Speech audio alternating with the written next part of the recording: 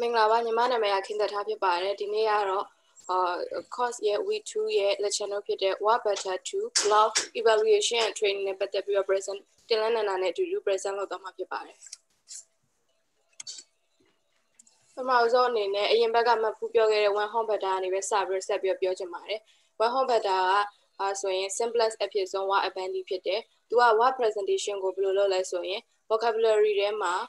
အာစကားလုံးလေးလုံးရှိရဲဆိုရင်အဲ့ဒီလေးလုံး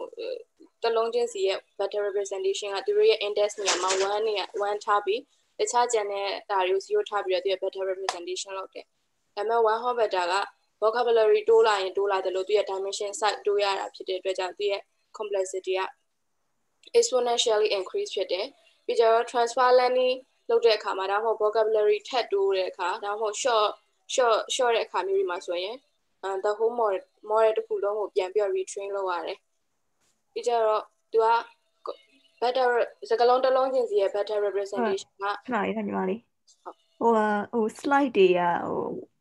ဒီအရှိရပထမဆုံးဆံမျက်နှာပဲပြနေ။အော်ဒီမှာတော့ဒုတိယဆံမျက်နှာရောက်သွားပြီဘယ်လိုဖြစ်တယ် presentation မလုပ်လိုက်ပါဘူး ကြည့်ရဟို dual screen ဖြစ်နေတယ်တူတယ်ဟိုဟာ screen ဟိုဥစား window တစ်ခုပဲ share ထားအောင်လည်းတူတယ်အဲ့လိုဖြစ်တတ်တယ်ဟိုဟာ screen တစ်ခုလုံး share ဟာယူယူလိုက် screen တစ်ခုလုံး share ထားရှင်อืมဟာညီမက multi screen သုံးနေရလားမသိဘူးမဟုတ်ဘူးရှင် screen တစ်ခုလည်းမဟုတ် screen တစ်ခုပဲ presentation mode နဲ့လုပ်လိုက်ရော fine နဲ့ presentation mode နဲ့လုပ်တာအမတို့မှဒီတိုင်းရိုးရိုးမုတ်နဲ့ပဲမြင်ရတယ်။อืม brand မနေဘူး slide တွေက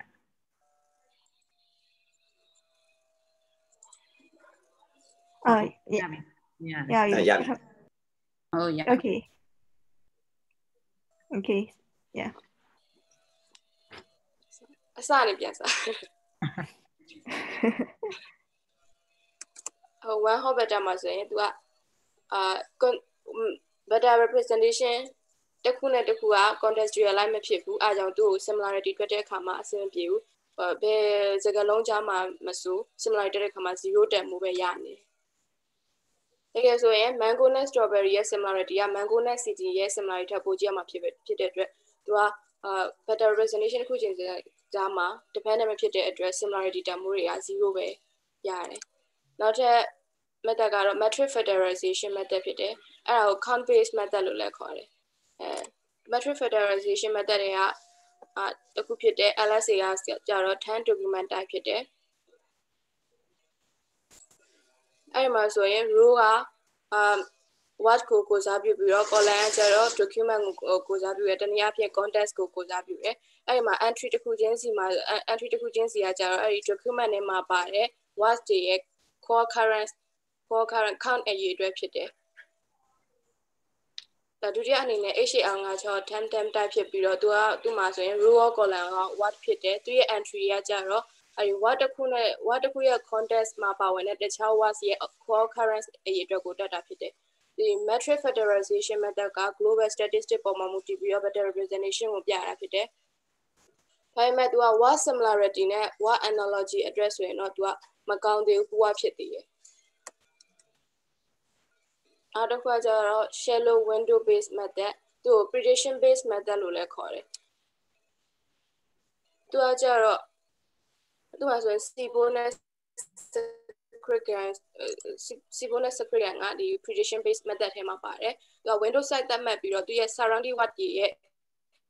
အဲ watt better တွေပုံမှာ SIBO မှာဆိုရင် surrounding watt တွေရဲ့ watt better ကိုပုံမှာမူတည်ပြီးတော့ center watt ရဲ့ watt better တွေကို predict လုပ်တာ အာ word better ကို lamp လောက် lamp လောက်တာဖြစ်တယ် scale grammar ကျတော့ center word ရဲ့အဲ better representation ပေါ်မူတည်ပြီးတော့သူရဲ့ surrounding word context word တွေရဲ့ better representation ကို predict လုပ်တာဖြစ်တယ်အဲဒီမှာဆိုတာဆိုရင် two side two side window ယူထားတာဖြစ်တယ်အဲဒါဆိုရင် where ရဲ့ better representation ကိုလမ်းလုပ်တဲ့အခါရဲ့သူရဲ့ surrounded word တွေဖြစ်တဲ့ I have orange တွေရဲ့ better representation ပေါ်မူတည်ပြီးတော့စီးပူးမှာဆိုရင် predict လုပ်မှာဖြစ်တယ် ဒါပေမဲ့ဒီ shallow base method တွေကအာအာ what similarity နဲ့ what analogy မှာဆိုရင်အဲရှေ့က metric factorization method အထက်ပို့ပြီးတော့ကောင်းတယ်ဒါပေမဲ့သူကအာ local window statistic ပေါ်မှာပဲမူတည်ပြီးတော့အာလမ်းလောက်တာဖြစ်တယ် glove ကကြတော့ရှေ့ကရခဲ့တဲ့ metric factorization method နဲ့အဲ window based method နှစ်ခုကိုပေါင်းထားတာဖြစ်တယ် အဲသူက metric factorization method လို့ global statistic ကိုသုံးတယ် window based method လို့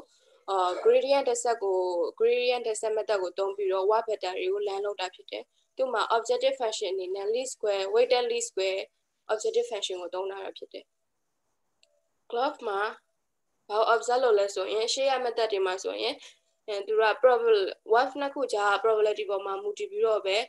what တွေရဲ့ better representation meaning တွေကို extract လုပ်တယ်ဒီ glove မှာကြတော့ what နှစ်ခုကြာမှာမဟုတ်ပဲနဲ့အဲ what တွေရဲ့ probability ratio ပေါ်မှာမူတည်ပြီးတော့သူရဲ့ meaning တွေကို extract လုပ်တယ်ဥပမာနေဖြင့်ဒီ solid first column က solid အနေနဲ့ဆိုရင် share method တွေမှာ solid နဲ့ ice ကြားမှာရှိတဲ့အဲ correlation အာ solid ပါတဲ့ content မှာ ice ပါတဲ့ အဲ occurrence ပေါ်မူတည်ပြီး probability ကိုတွက်တယ်အဲ့ဒီပေါ်မှာမူတည်ပြီးမှ meaning ကို extract လုပ်တာဖြစ်တယ် glove မှာကျတော့ ice ice နဲ့အဲ solid နဲ့ probability နဲ့ string နဲ့ solid ရဲ့ probability ကို ratio ယူပြီးတော့မှ meaning ကို extract လုပ်တာဖြစ်တယ်အဲ့ဒါကဘယ်လိုသဘောမျိုးလဲဆိုရင်ဒီလိုဟို sol အဲ့ ratio က1ထက်ကြီးလို့ရှိရင် solids က pi weight မှာရှိတဲ့ watt နဲ့ပို့ပြီးတော့ meaning meaning ကပို့ပြီးတော့ closer meaning ဖြစ်တာဖြစ်တယ် second column မှာဆိုရင် gas ကအာ probability ratio က1ထက်ငယ်တဲ့အတွက် gas ကအာပိုင်းစမှာရှိရဲ့ watt နဲ့ပို့ပြီးတော့ meaning closer ဖြစ်တာဖြစ်တယ် sting နဲ့ပို့ပြီးတော့ closer ဖြစ်တယ်ဖြစ်တယ်တကယ်လို့ probability ratio တန်ဖိုးက1ဖြစ်တဲ့ဆိုလို့ရှင်တော့သူတို့ကပိုင်းစီမှာရှိရဲ့ watt နဲ့ရောပိုင်းပိုင်းမှာရှိရဲ့ watt နဲ့ရော meaning က closer ဖြစ်တာအတူတူပဲဖြစ်တယ်0နဲ့ကတ်သွားမယ်ဆိုလို့ကဆိုရင်တော့သူတို့မှာ meaning က different ဖြစ်တယ်ဆိုပြီးတော့ observation ရဖြစ်တယ်အဲ့ဒီ concept ပေါ်မှာမူတည်ပြီးတော့မှ clock ကအာအာ drive drive လောက်ထားဖြစ်တယ်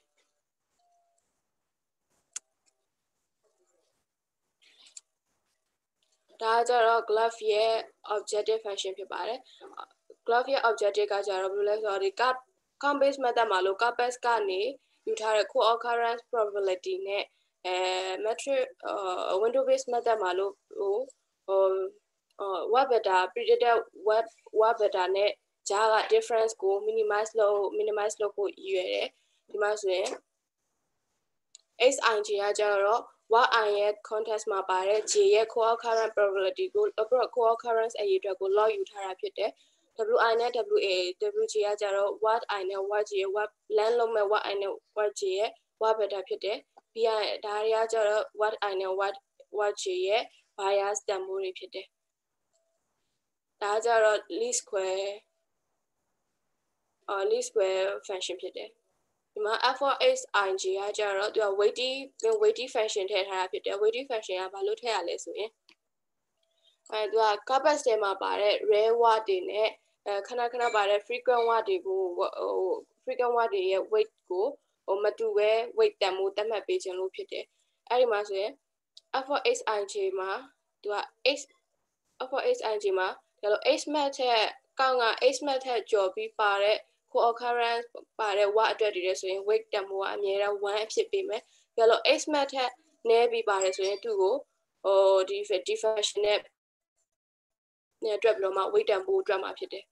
ဒီမှာဆိုရင် glove မှာဆိုရင် x mat တန်ဖိုးက100ဆိုပြီးသတ်မှတ်ထားတယ်။အဲ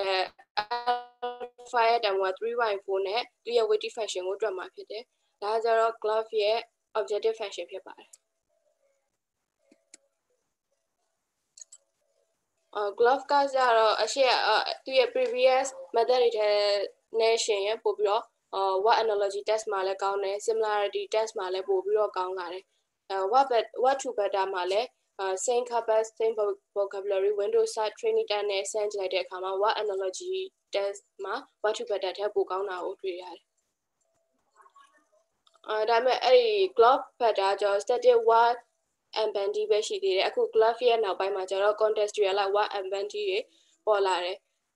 static what ambandy ကကျတော့ web တစ်ခုအတွက် better representation ကတစ်ခုပဲအမ်ပေးနိုင်တယ်အဲ့ဒီ ဆိုလိုတော့ meaning တစ်ခုပဲပေးနိုင်တယ် contextualize what and bandy ကကြတော့ what တစ်ခုချင်းစီအတွက် better representation က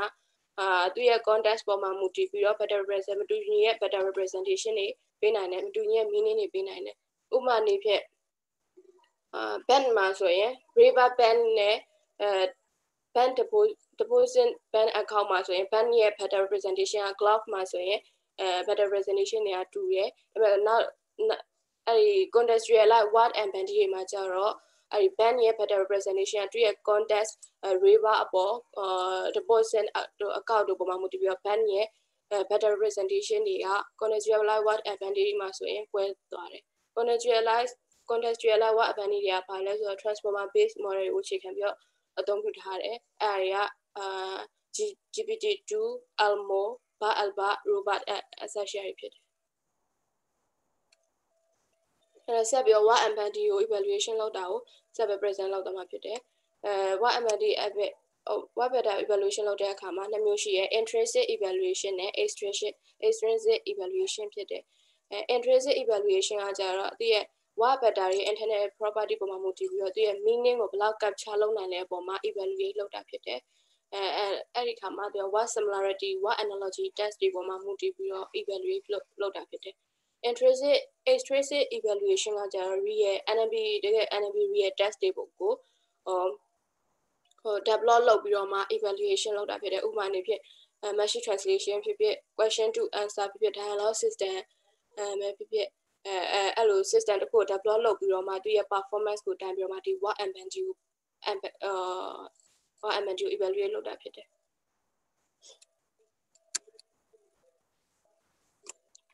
ဆိုရင်ဒီဘယ်ဘက်က extrinsic evaluation ပုံစံမျိုးဖြစ်တယ်ဒီညာဘက်က extrinsic အဲ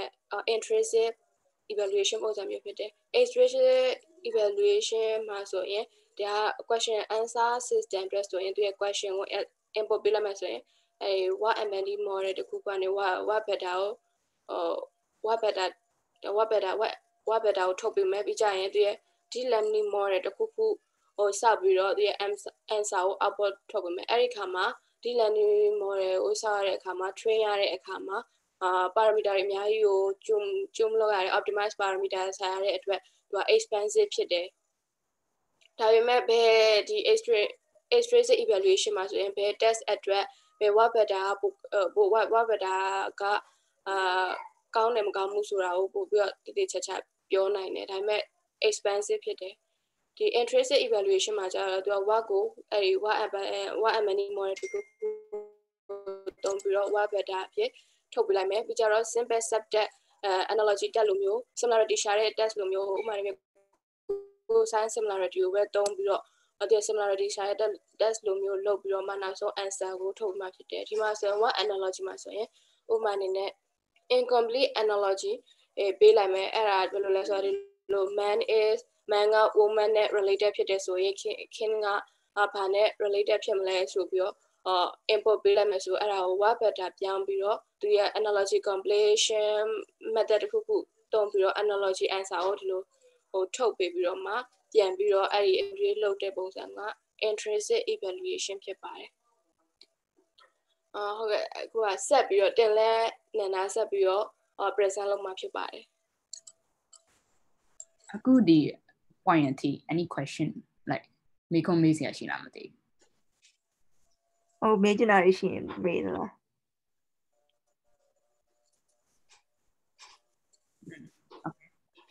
ဟော what analogy test တွေပါဆိုတော့ဘာလဲသိလားမသိ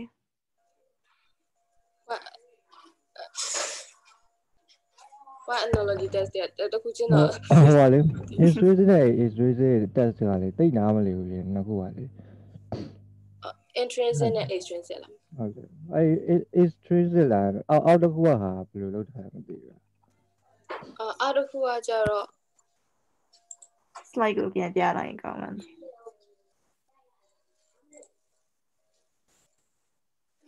အဲ့တော့ကြောင့်ဒီနေ့ဒီ modern နေရာမှာကွဲသွားဖြစ်တယ်အဲ့ဒီမှာ तू က simple အဲ model ပဲတုံးပြီးတော့ဥပမာ similarity ဆို cosine similarity လောက်ပဲတုံးပြီးတော့အာသူကအာ answer ကိုထုတ်ပေးတာဒီ extract မှာကျတော့သူက model တစ်ခုလုံး test တစ်ခုလုံးအတွက်အဲ train ပြီးတော့မှ model model ဆောက်ပြီးတော့မှ answer ကိုထုတ်ပြရသူတို့ကဒီ extract မှာဆိုရင်ပို့ပြီးတော့ expensive ဖြစ်တယ် land လောက်ရတာအချိန်ကလည်းပိုကြတယ်အဲအဲ expensive ပို့ဖြစ်တယ်အဲ့ဟို Israel ကပေါ်တယ်ဟိုသူပြောနေတာဟောပေါ့ application တစ်ခုခုတိစောက်လိုက်တာကိုပြောတာပေါ့မှာ question answer ဖြစ်ဖြစ် translation ဖြစ်ဖြစ်အဲ့အနေပြီးပြန်ပြီးတော့ကြည့်ရအဲ့လိုပြန်ကြည့်ရတာကောဟုင်းတ်လာကဲ့တယ်အဲ့ဒါ extrinsic evaluation ဖြစ်ဟိုဥစားကြတော့ဘောဘောဗလာဘာပါကိုဆိုင် similarity အဲ့ဒါတော့တွက်ပြီးတော့ပါစစ်တာစစ်တာပဲပေါ့နော်ဟုတ်ကဲ့ရှင်ဟုတ် okay okay intrinsic က linguistic properties တွေကိုလေ့လာတာလို့ပြောလို့ရတယ်ဒီစကားလုံးတစ်လုံးနဲ့တစ်လုံးဆက်ဆက်မှုဘယ်လောက်ရှိလဲတို့ ဒီစကားလုံးနဲ့နီးစပ်တဲ့စကားလုံးကဘာလဲတို့အဲ့လိုမျိုးပြောလို့ရမယ်ဖြစ်တယ် extrinsic ကကြတော့ तू က linguistic properties ကိုလေ့လာတာမဟုတ်ပဲね तू ကဒီ downstream test တစ်ခုပေါ်မှာခုနညီမလေးပြောတဲ့ question answering ဖြစ်ဖြစ် classification ဖြစ်ဖြစ်အဲ့ဒီအပေါ်မှာဘလို့အလုပ်လုပ်လဲဆိုတော့ accuracy ကဒီ word and banding ကိုသုံးလို့အဲ့ဒီ question answering မှာပိုပြီးကောင်းသွားလား classification မှာပိုပြီးကောင်းသွားလားကိုတွက်တာ extrinsic ဟွာလေခုရှင်းပြတော့သွားတဲ့လောက်ကိုလေဟိုလိုမျိုးလိုပြောရမလို့လိုက်ကြည့်တာတော့အဲတော်တော်ဟိုလိုမျိုးတော်တော်စာဖတ်ပြီးတော့ present လုပ်သွားတာတွေ့တယ်ဒါပေမဲ့လို့လေခေါင်းထဲမှာလေအဲ့ဒီအခုပြီးသွားတဲ့ဟာလေးကိုပုံမြင်လိုမျိုးလေနည်းနည်းဆွဲသွားအောင်ပြန်ပြောပြပေးပါလားကျန်တယ်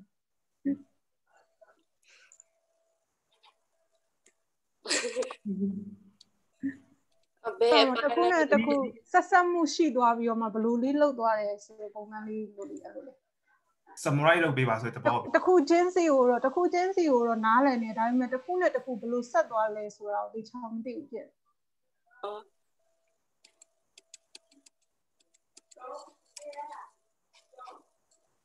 အော်ပထမဆုံးဒီ metric factorization method တွေမှာဆိုသူက similarity measure ကမကောင်းသေးဘူး analogy ကမကောင်းသေးဘူး ဟောဒီ shallow base method မှာကျတော့ similarity measure ပို့ပြီးတော့ကောင်းလာတယ်ဒါပေမဲ့ तू ကအာသူက window statistic က window base model မှာပဲမူတည်တာဖြစ်တယ်အဲဆိုတော့အရင်ကြီးတော့မကောင်းသေးဘူးအရှိက metric factorization method တွေထပ်ပို့ပြီးတော့ကောင်းလာတယ် clock မှာကျတော့အဲ့ဒီရှေ့ရနှစ်ခုကိုရဲ့ဟိုအတာချက်တွေကိုမှပေါင်းပြီးတော့ develop လုပ်ထားဖြစ်တယ်အဲ့ဒီအတွက်ကြောင့်မို့သူကပို့ပြီးတော့ what analogy test တွေမှာရော what similarity test တွေမှာရောပို့ပြီးတော့ကောင်းလာတယ် glove ရဲ့နောက်ပိုင်းမှာဆို glove ကကျတော့ static and bandy ပဲရှိသေးတာ glove ရဲ့နောက်ပိုင်းမှာဆိုရင် contextual and bandy တွေပေါ်လာတယ်အဲ့ဒီအခါမှာသူကအာ what တစ်ခုတည်းကို better representation တစ်ခုတည်းပဲထုတ်တာမဟုတ်ဘဲနဲ့သူရဲ့ context ပေါ်မှာမူတည်ပြီးတော့ better representation ထုတ်တဲ့အဲ what and bandy တွေပေါ်လာတယ်အဲ့ဒါတွေကပို့ပြီးတော့ glove ထက်ပို့ပြီးတော့ကောင်းလာတယ် evaluation မှာဆိုရင် intrinsic evaluation နဲ့ extrinsic evaluation ဆိုပြီးရှိရယ် အဲ intrinsic evaluation ကအာရှိခုနကတော့အမအမအင်းခိုင်ပြောခဲ့သလို linguistic property ကိုပဲ analyze လုပ်တာဖြစ်တယ် extrinsic evaluation မှာကျတော့သူကတကယ် NLP test တွေပေါ်မှာ train ပြီးတော့မှ evaluate လုပ်တာဖြစ်တယ်ဟုတ်ရင်နားလည်လားမသိဘူးဟုတ်ဟုတ်နားလေဟုတ်ဟုတ်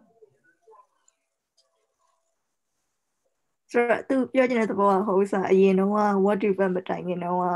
သုံးခဲ့တဲ့ဟို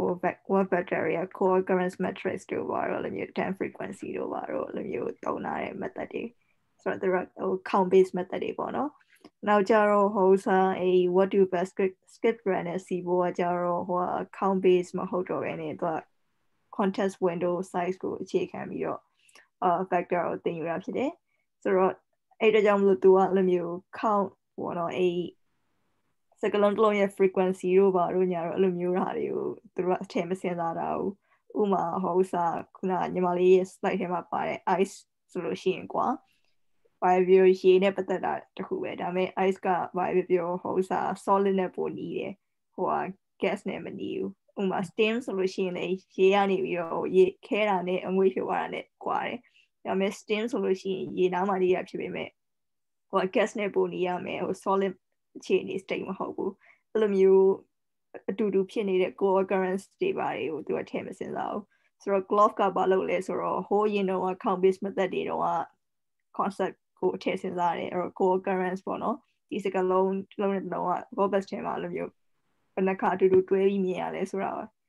ဆိုရယ် statistics ကိုလည်းထည့်စဉ်းစားရတယ်အဲ့ဒါအပြင် contest window ကိုလည်းထည့်စဉ်းစားရတယ်နှစ်ခုစလုံးပေါင်းပြီးစဉ်းစားလိုက်တော့အဲ glove ဆိုတာဖြစ်လာတယ် ဆိုတော့အဲ့ဒါ glove ဆိုတော့အဲ့မှာ word vector တွေကို evaluate လုပ်တဲ့ဥစ္စာခုနကညီမခိုင်တထားခင်တထားပြောလိုမျိုး intrinsic နဲ့ဥစ္စာ extrinsic evaluation ဆိုရင်နှစ်ခုရှိရပေါ့ဆိုတော့အဲ့ဒါအဲ့ evaluation နှစ်ခုကအဲ့ what to run မှာစပြီးလုပ်တာပေါ့နော်အဲ့တော့ glove ကလည်းအဲ့နီကိုပဲယူပြီးတော့လိုက်ပြီးတော့ evaluate လုပ်ပြီး what to run နဲ့ရှင်းပြထားတာပေါ့ဆိုတော့ intrinsic ကခုနကပြောလိုမျိုး linguistic property semantic property ပေါ့အာ semantic ဆိုတာအတိတ်ပဲပေါ့နော်ဆိုတော့အတိတ်ပဲတူတဲ့စလုံးတွေဘယ်လောက်နီးလဲဒါမှမဟုတ်ဟိုနောက်ထပ်ဟို syntax syntactic property ဆိုဥမာဟိုစာတချို့စကားလုံးတွေကြတော့ဟိုစာအတိတ်ပဲမတူပေမဲ့ဟိုဟာဘယ်လိုပြောရမလဲဟို verb form တွေပါတယ်တူတယ်ကွာဥမာ singular verb တွေဆိုရင်သူတို့ distance တူတယ် plural verb တွေဆိုရင် distance တူတယ်အဲ့လိုမျိုးဟာတွေကို evaluate လုပ်တာ intrinsic evaluation လို့ခေါ်တယ် အဲ့တော့ကြတော့လိုမျိုးစကားလုံးတွေရဲ့စလုံးတွေအာစလုံးတွေရဲ့ခုနပြောလို့ similarity ကိုတွက်ကြည့်ပြီးတော့ဟိုနီးတဲ့စကားလုံးတွေကတကယ်နီးလားမနီးတဲ့စကားလုံးတွေကတကယ်မနီးဘူးလားဆိုတာကိုပဲရှာတာအဲ extrinsic evaluation ကြကြတော့ a word vector ကိုသုံးပြီး a နဲ့ခိုင်ပြောလိုမျိုးပဲဟိုစာ system တွေပါစောက်ကြည့်စောက်ကြည့်ပြီးတော့ဟိုမှာ glove ကိုသုံးတဲ့ word vector glove ကိုသုံးတဲ့ a system ဟိုမှာ classification system ကဟို what to back ကိုသုံးတဲ့ classification system ထပ်ပိုပြီးကောင်းလာပေါ့ system အတူတူမှာအဲ့ဟို what pattern နေရာလေးမှာပဲအစားထိုးပြီးပြောင်းကြည့်ပေးအဖို့ကောင်းလဲဆိုတာကိုပြရတာပေါ့အဲ့ဒါကို extrinsic evaluation လို့ခေါ်တယ်အဲဆိုရင် base system ဘယ်ဘယ် embedded နဲ့ဆောက်ထားတဲ့ system ကပို့ပြီး accuracy ပိုများလဲအဲ့လိုမျိုးဟောဟုတ်အဲ့ summary ဟုတ်ကျေးဇူးပါဟုတ် ဒီလည်းနာဆက်ပြောမှလားမသိဘူးကဲမှာထားပါမိကုနေရှိသေးလည်းမသိ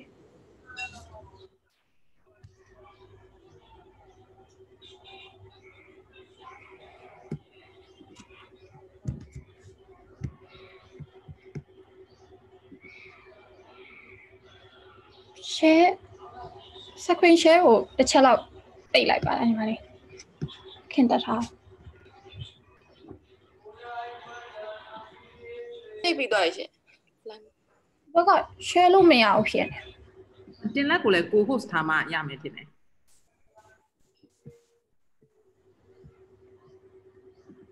ပုံမတနေအာပုံမတနေဟိုမြူဖြစ်နေအော်ဟုတ်စားကို host လောက်ထားပြီးသွားပြီလို့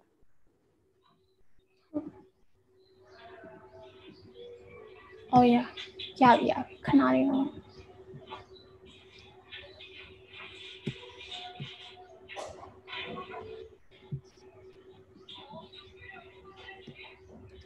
okay ဝါ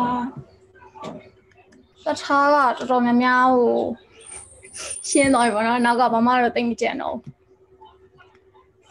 ဒါကခုနကတော့ကသူပြောထားသလိုပုံစံမျိုးပဲဒီ visualization ပြန်ပြီးတော့ကြာတော့ globe ပေါ်မှာ visualization လုပ်ထားရဒါဆိုရင် gender နဲ့ပတ်သက်ပြီးတော့ပေါ့နော်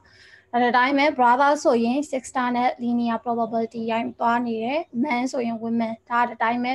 ပြထားတဲ့ဟာမျိုး နောက်တစ်ခုကကြတော့ဒါဆိုရင် company ရဲ့ CEO ရဲ့ဆိုရင် company နဲ့ CEO တွေရဲ့သူတို့ရဲ့ linear probability ကိုပြထားတဲ့ဟာဟိုကဒါဆိုရင် superlatives တွေဆိုရင် slow slower slow works သူတို့ရဲ့ superlative တွေကို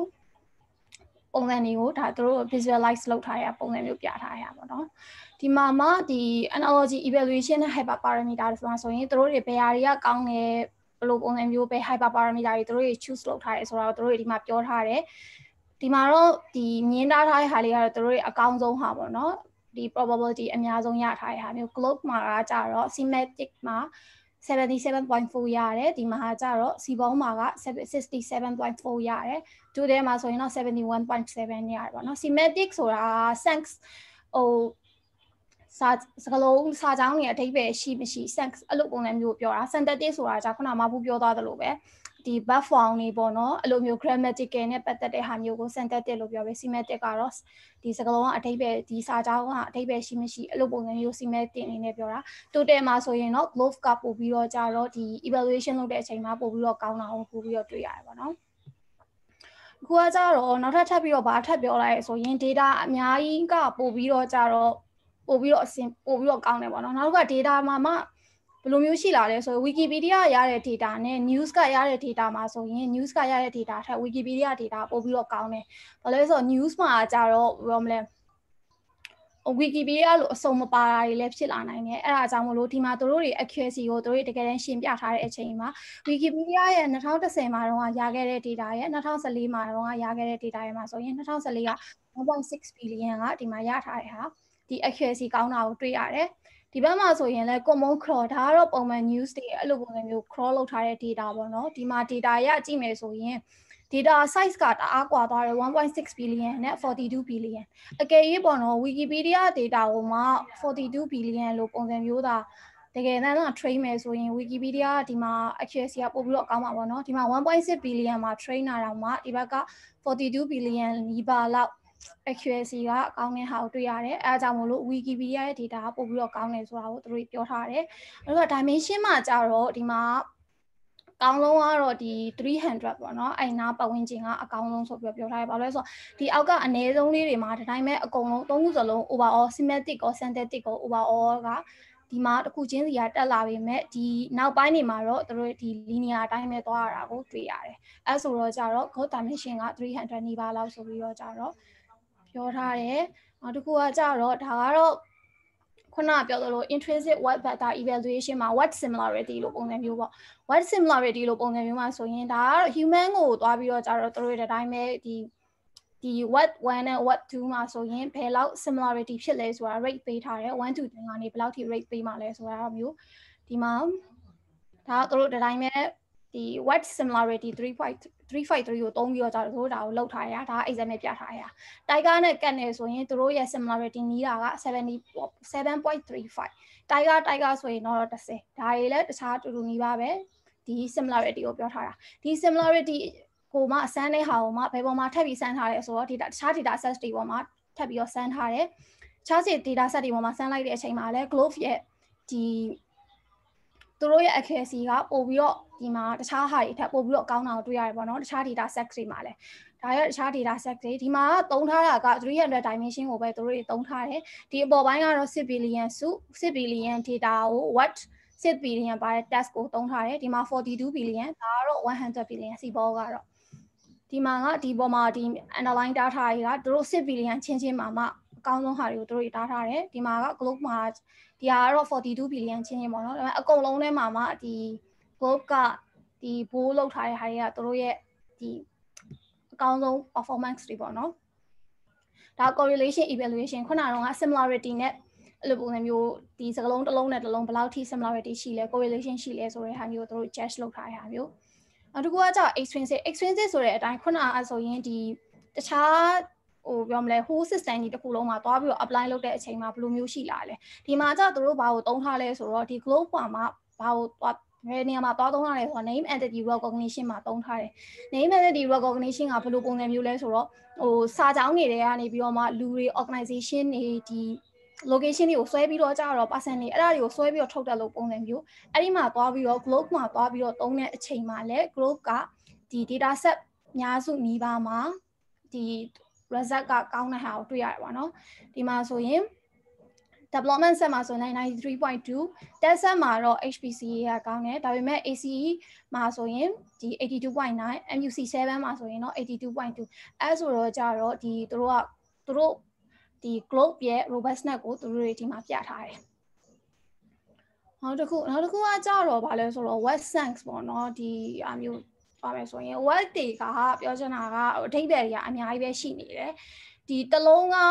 ဒီအထိတစ်ခုတည်းနဲ့စလုံးတစ်လုံးနဲ့တောင်မှအထိပ္ပယ်ကအ10မျိုး15မျိုးတွေအများကြီးပဲထွက်လာနိုင်တဲ့အချိန်မှာဒီခုနကလို့သတ်မှတ်ထားတဲ့ better တစ်ခုတည်းနဲ့တကယ်ရောအလုပ်ဖြစ်ရလားဆိုတဲ့ပုံစံမျိုးသူတို့နေထားတယ်ဒီမှာဆိုရင်သူတို့ example ပေးထား pike ဆိုတဲ့စကားလုံးပေးထား pike ဆိုတဲ့စကားလုံးမှာဒီမှာဆိုရင်အများဆုံးအများကြီးပဲရှိနေတယ်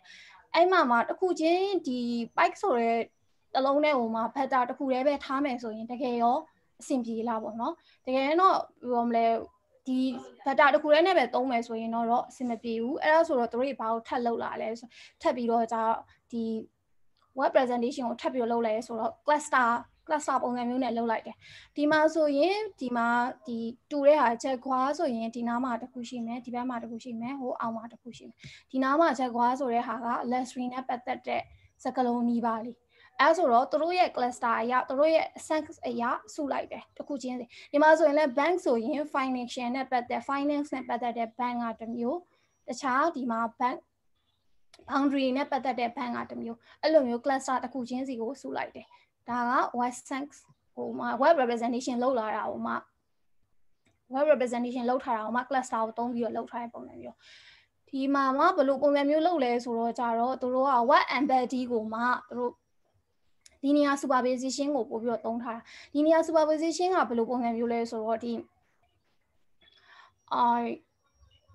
ဘယ်လိုပြောမလဲ weighted sum ပေါ့နော်ဒီမှာဆိုရင် pipe ဆိုတဲ့စကားလုံးမှာဆိုရင် alpha 1ဟိုမှာခုနက pipe 1ဆိုတဲ့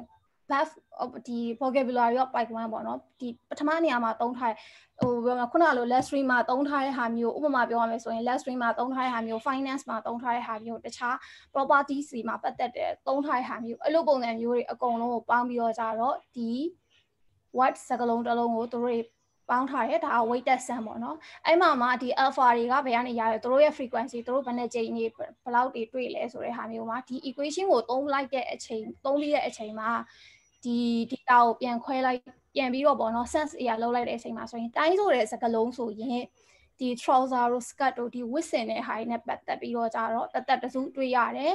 ဒီ time ကဒီ sports တို့ season တို့ themes တို့ ਨੇ ပတ်သက်တဲ့ဟာတွေတသက်တစ်ခုတွေ့ရတယ်အဲဆိုတော့ time ဆိုတဲ့စကားလုံးကပုံမှန်ဆိုရင်တစ်ခုတည်းနဲ့အကုန်လုံးကိုသုံးနေပေမဲ့ဒီလိုမျိုးခွဲလိုက်တဲ့အချိန်မှာဆိုရင်ဒီလိုမျိုး group တွေလိုက်သွားပြီးတော့ကြာ cluster ဖြစ်နေတာကိုတွေ့ရတယ်ပေါ့နော်ဒီမှာတော့ ဒီ lecture 2မှာတော့ပြောထားတာဒီလောက်ပဲပါတယ်နော်ဟုတ်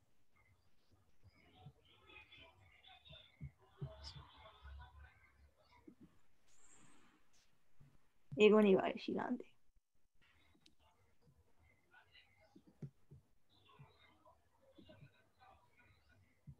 ဟုတ်ကဲ့အဲ့ဒီမှာလေအဲ့ဒီ warp sense မှာလေအဲ့ဒီဟိုမှာ pipe ဆိုတဲ့တစ်လုံးပေါ့နော်အဲ့ဒါကိုခဏခဏတွေ့ရင်သူကတစ်လုံးနဲ့အဖြစ်ယူသွားတာမဟုတ်ဘူးလားအဲ့လိုသုံးလေးလုံးအဲ့လိုပြန့်သွားတာဘ ယ်လိုဖြစ်သွားလဲအဲ့နာယူရထားတို့ကတစ်လုံးချင်းစီနဲ့တွေ့တဲ့ဟာကိုမှဟိုအခြားတွေ့တဲ့ဟာတွေရော frequency ကိုပေါင်းပြီးတော့ခုနကပြောခဲ့တဲ့ equation မှာပဲပြန်ပြီးတော့ပြန်သုံးသွားတာပေါ့နော်တနေရာမှာမှတ်ထားတာမျိုးလားအဲ့လိုမျိုးလားအဲ့ဒါအခါလေးကဘယ်လိုသုံးလုံးဖြစ်အောင်꿰နေမှဘယ်လိုသိရလဲဆိုတာသူမေးချင်တာလားမသိဟုတ်တယ်ဟုတ်ကဲ့အစားတွေကသုံးလုံးပဲရမဟုတ်တစ်လုံးနဲ့မှလို့မစုစုမိသွားမှာပေါ့ အဲ့တလုံးချင်းစီရဲ့ဒီ frequency ကိုပါမှတ်ထားပြီးတော့ပေါ့နော်ဟိုမသူပြောချင်တဲ့စကားတော့ဟိုက bike ဆိုတာသုံးလုံးဖြစ်နေရမလားအဲ့လိုသူ့ bike ကိုသုံးလုံးခွဲအောင်အမှန်ဘယ်လိုသိလဲ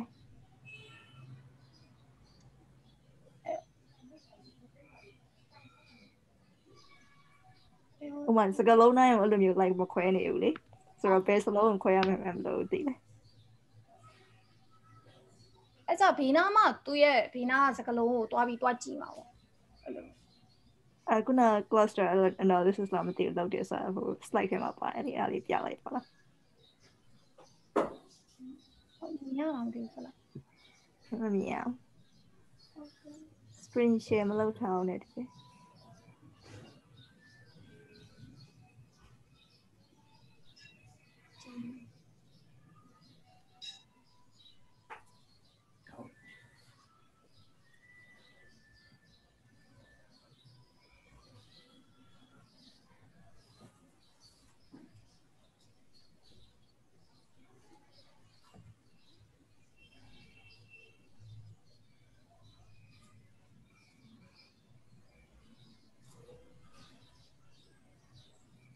ဘယ်လိုမျိုးပြန်ပြောပြရမလဲ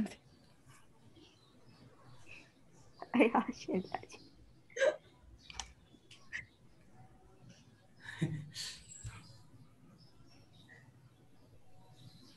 သူကအဲ့ cluster နံပါတ်ရဲ့အရေးအတွက်ပေါ်မူတည်ပြီးတော့အဲ့ဥပမာခုနကမျိုး pipe ဆိုလို့ရှိရင် cluster 3ခုရှိတယ်ဆိုလို့ရှိရင်အဲ့မှာအဲ့ cluster 3ခုရှိတဲ့အတွက်ကြောင့်ခုနကမျိုး3ခါပေါ်တယ်ဆိုတဲ့ပေါ်မျိုးကိုသူကယူထားတယ်လို့ကျွန်တော်ကယူဆတယ်อืมသူပြောတာကိုဟိုဆိုတာပြန်ကြည့်လိုက်အဲ တခါတည်းပထမဆုံးတစ်ကြိမ် train လုပ်တယ်ကွာလုပ်ပြီးလို့ရှိရင် cluster analysis လုပ်ပြီးတော့ cluster နှစ်ခုရှိတယ်ဆိုတာလိုက်ကြည့်တယ်ဥပမာ bank ဆိုလို့ရှိရင်နှစ်ခုရှိရင်နှစ်ခုရှိတယ်ပေါ့ပြီးလို့ရှိရင်အဲ့ word vector တွေကိုပြန်ပြီး train ထပ်လုပ်တယ် retrain each word assigned to multiple different cluster လို့ရေးထားဆိုတော့တခါတည်းနဲ့ train ပြီးခုနကလို word to word လို့ different နဲ့ train တာမဟုတ်ဘူးနှစ်ဆင့် training ဖြစ်သွားတယ်ဖတ်ထပ်ပြီးတော့ train နေတော့ဟိုပေါ့ဟို distance ကိုဟိုပထမဟာဆိုနည်းနည်းကြည်ကြဲထားပြီးတော့မှနောက်ဟိုနောက်ဟိုပေါ့ထက်ကတက်က train နဲ့မှဟို cluster ကြီးပြန်စုထားတာပေါ့ဟောတော့စာကြီးပထမတစ်ချိန်ပုံမှန် train လို့ရှိရင်ကတော့တော်တော်ပြန်နေတာပါပဲချင်းချင်းဟို distance တွေကတော်တော်ကြီးမှာပဲ ပထမတစ်ချိန် train တော့ဥပမာ bank ဆိုလို့ရှိရင်လည်း bank ကစလုံးတစ်လုံးနဲ့ရှိတယ်ဒါပေမဲ့သူ့နားမှာ cluster နှစ်ခုဖြစ်နေမယ်ဆိုတော့ อืม အဲ့ဒါကိုမူတည်ပြီးတော့မှထပ် train တာ อืม နှလုံးခွဲလိုက်တာပေါ့အဲ့ချိန်ကြတော့မှ 哦，嗯嗯。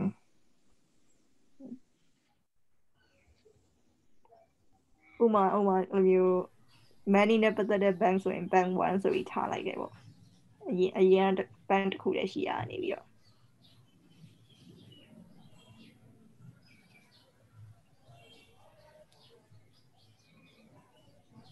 အဲ့ဆိုတော့ compass တဲမှာသွားပြီးထည့်ရမှာပေါ့နော်သွားပြင်ရမှာပေါ့လို့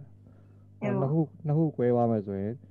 ban နဲ့ဆိုရင်ဘယ်လို file share နဲ့ဟိုပေါ့သူ window မှာရှိတဲ့ဟာတွေကို ban 1လို့ထားပြီးတော့တခြား window မှာရှိတဲ့ဟာ ban 2လို့ထားအဲ့လိုအကုန်လုံးပြန်ထည့်ရမှာပေါ့နော်อืม အဲ့လိုပြန်ထည့်ရတာကသူကအဲ့ cluster analysis လုပ်တယ်လို့ကျွန်တော်ထင်တယ် pro လို့ဆိုတော့အဲ့ခုနပထမချိန်မှာအဲ့ train လုပ်တဲ့အချိန်မှာကျတော့သူကအဲ့ bank မှာအဲ့ဘယ် words တွေရဲ့ကို occurrence မှာပါတယ်ဆိုတော့သူဟာနဲ့သူ cluster analysis လုပ်တဲ့အချိန်မှာပေါ်လာတယ်ပေါ့နော်အဲ့မှာနောက်တစ်နောက်တစ်ချိန်မှာအဲ့ကျွန်တော်တို့ bank ကိုတွေ့တဲ့အချိန်မှာ cluster နှစ်ခု꿰သွားတယ်ဆိုတာသူတုံးတဲ့အဲ့ words ရဲ့ကို occurrence ပေါ့ bank ကပဲအဲ့ similarity ဖြစ်တဲ့အဲ့ group ထဲမှာပါသွားလဲဆိုတာပုံမူတည်ပြီးတော့အဲ့မျိုးကျွန်တော်တို့ခုနကမျိုးပေါ့နော်အဲ့ frequency ရလာတယ်လို့ကျွန်တော်ထင်တယ်ပေါ့နော်ခုန F1 F2 F3 ဆိုတာက อืม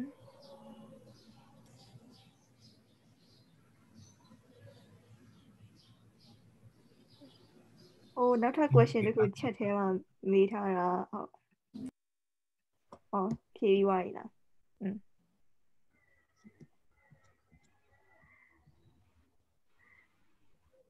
တခြားဘာတွေမေးချာရှိသေးတယ်မသိဒီနေ့ဒီအစီ chapter 2ကတော့ဟိုပေါ့ lab lab ကပဲပို့ပို့ပို့အချိန်ပို့ယူရမယ်ထင်တယ် ဟို data set တွေကိုဟိုကလေ wiki ကဟိုပမာ language data set တွေကိုဟိုဟို crawl လုပ်ပြီးရှိတာမသိဒါမှမဟုတ်ပို့ပြီးတော့ဟိုပေါ့ crawl လုပ်ပြီးတာ download ပြန်မှာ download ရရတယ်သိတာမသိ Wikipedia ကတော့တုံးလို့ရမယ်ထင်တယ် Wikipedia crawl ပြီးသားရှိတယ် um အဲ့ link ကြီး share ပေးလို့ရတာမသိအဲ့ဒါဆိုရင်တော်တော်များဟိုပေါ့ဟိုပေါ့ဒီဒီ chapter 2ကဟာ apply လုပ်လို့ရအောင်လေอืม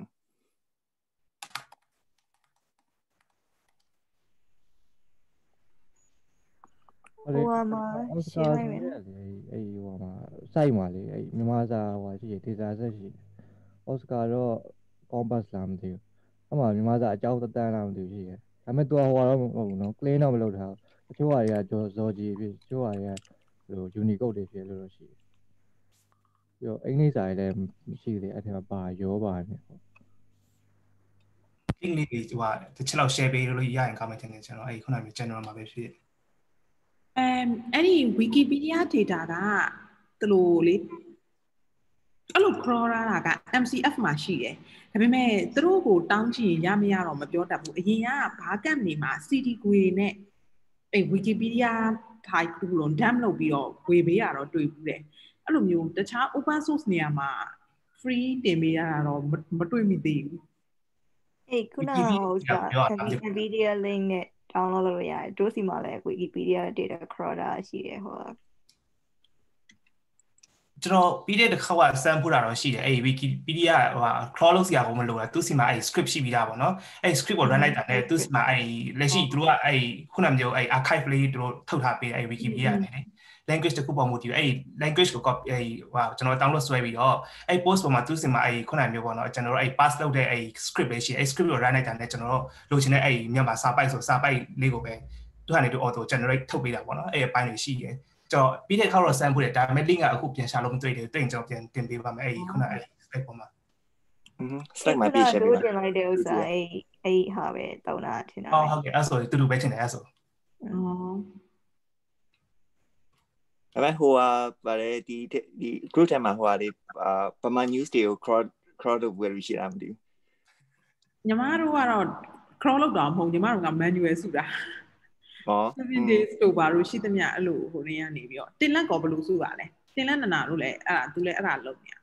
ဟိုညီမလည်းဟိုဟာ manual လိုက်စုတာပဲอืมအဲ့အဲ့ကျတော့ဗာလေအဲ့ page တစ်ခုရှင်းနေသွားပြီးတော့အဲ့ copy ကူးပြီးတော့အဲ့မျိုးစုတာပေါ့ဟောအဲ့ရတော့ပြင်ပန်းတယ်နော်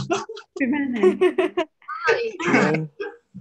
အဲ့ဒါငါငါဟိုဟာကိုပြန်ရှာကြည့်တာငါအရင်ဟိုဟာတစ်ခေါက်အဲ့ပမာ news တွေကို crawl ဘူးပဲ crawl တော့ကြတော့အဲ့တော့ငါကြဟိုဟာဗါလေကြောင်ညာတွေကိုဖယ်ဖို့တော့ပဲ crawl ထားတာဒါပေမဲ့ script ကိုပြန်သုံးပြီးတော့ဟိုဟာ site guide တွေပဲပြန်ဖယ်ဟိုထုတ်လို့ရတယ်ပြန်ရှာကြည့်တာမရှာပြီးတွေ့တော့ကိုပြန် share ပေးမယ်ဟုတ်တယ်တကယ်လို့ဟိုဟာ script တွေပါရှင်းတော့မဆိုအဲ့ဟိုဟာတော်တော်တက်တာလူပြင်ပန်းတက်တာပေါ့ဒါပေမဲ့ခုနက quality ကြောက်ခွာသွားတယ်နော်လူကြတော့အဲ့ခုနက manual အဲ့ပါလေ copy paste ဆိုတာတော့ပူတိကြကိုလိုရှင်းတဲ့ပို င်းလေးအာဒါပေမဲ့မဟုတ်လေ copy ပါပဲပြင်ပြီး classify ပြင်လုပ်တယ်အဆင်ပြေရမယ်ဟုတ်တယ်မလားဘာလို့အဲ့ဆိုရင်မ error တွေကပိုတက်တာဟို manually ဟိုဟာ link တိုင်းတွားပြီး copy paste လုပ်ရစားရှင် copyright တွေဘာတွေတော့ရှိအောင်မယ်တင်တယ်နော်အဲ့ဒါတော့နည်းနည်းသတိထားမယ်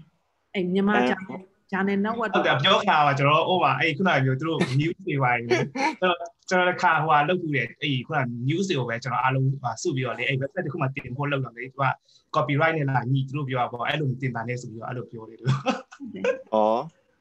อืมเอ็นยา the copyright တော့ဖတ်လိုက်အောင် ဟောအိမ်အိမ်မှာပဲစမ်းတာလို့ပါလို့ဆိုရပါတယ်ねဟိုမှာဒီတိုင်းပဲပျော်စမ်းတဲ့သဘောမျိုးဆိုတော့ อืม ဒါပေမဲ့ခုနမျိုးပေါ့ research ပဲပါရင်ဥမာ paper မှာတင်မယ်ဆိုလို့ရှိရင်သူတို့ permission တောင်းဖို့ရတယ်ဟုတ်တယ်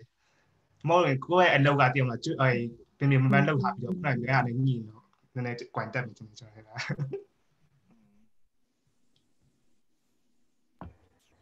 န်တော်ဖုန်းနဲ့နေဟိုဟာအဲ့ result data တော်များများဆိုဟိုဟာဗါလေဒီဟိုဟာ open source ဆိုဟိုဟာနဲ့ share လို့ရှိရင်တော့ရောက်ရမှာတော့ commercialize မလုပ်ပါဘူးဆိုပြီးတော့ license တင်ထားရင်တော့ share လို့အဆင်ပြေရမလားဘယ်လိုဘယ်လိုမျိုးဟိုဟာ restriction ရှိလဲဒီဒီမှာပြရဘလို့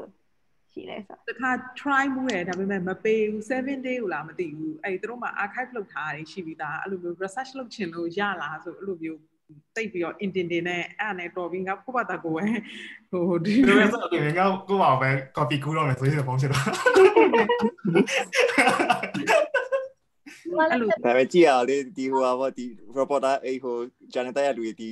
YouTube ကြည့်မကြည့်ကြည့်ပြီးလို့ရှိရင်တော့သူတို့အားလုံးပြန်ဆက်တယ်ဆက်တယ်မှာပေါ့ ကြားတာလေဟိုသူတချို့အဲ့တေဝအဲ့တေဝါလီခံသွားတဲ့ကြာနေတိုက်တွေရှိအောင်မလားသူတို့စီကနေ data ပြန်ဝယ်ရင်တော့မစိုးတော့ရရင်ရမယ်ထင်တယ်ကြလားသူတို့အဲ့ public publish လုပ်ထားပြီးသား data ကိုပဲပြန်ဝယ်ချင်တယ်ပေါ့နော်အဲ့ဒီမျိုးဆိုလို့ရှိရင်လည်း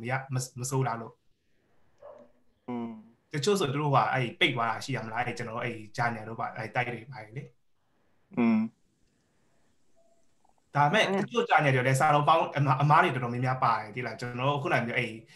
တေချာ active မလုပ်ခဲ့တာပေါ့နော်ကျွန်တော်တကယ်လို့ဒါအဲ့ဟိုအစိုးရထုတ်တဲ့အဲ့ဟိုဟိုအားအဲ့ယုံကြည်စိတ်ချရတဲ့အဲ့သတင်းစာတော့ပါဆိုရှင်မဆိုအာ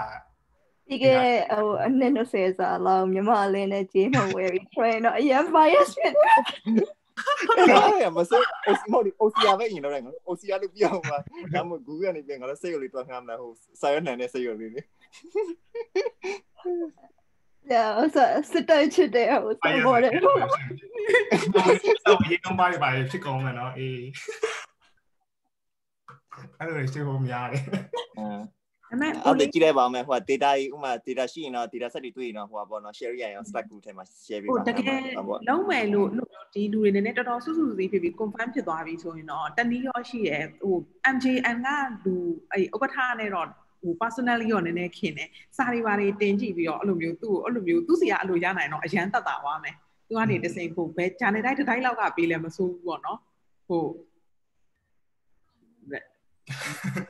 အများကြီးတက်တာတာပေါ့နောက်ဆုံးမရနိုင်တော့မှကျွန်တော်လက်ရှိရှိနေအဲ့လူရဲ့အရေးအတွက် member ရေးအတွက်နဲ့ပဲခုနမျိုးခွဲပြီးတော့လေအဲ့ manual ကို manual အဲ့ collect လုပ်ရင်တော့လည်းမစိုးတော်တော်များများရမယ်ကြလားအဲ့ဟိုဟိုလူတယောက်ကိုပဲပဲဟိုပါတော့ပဲ link ကိုတောင်းဝင်ယူပြီးတော့ copy လုပ်မယ်တော့ပါတော့ อืม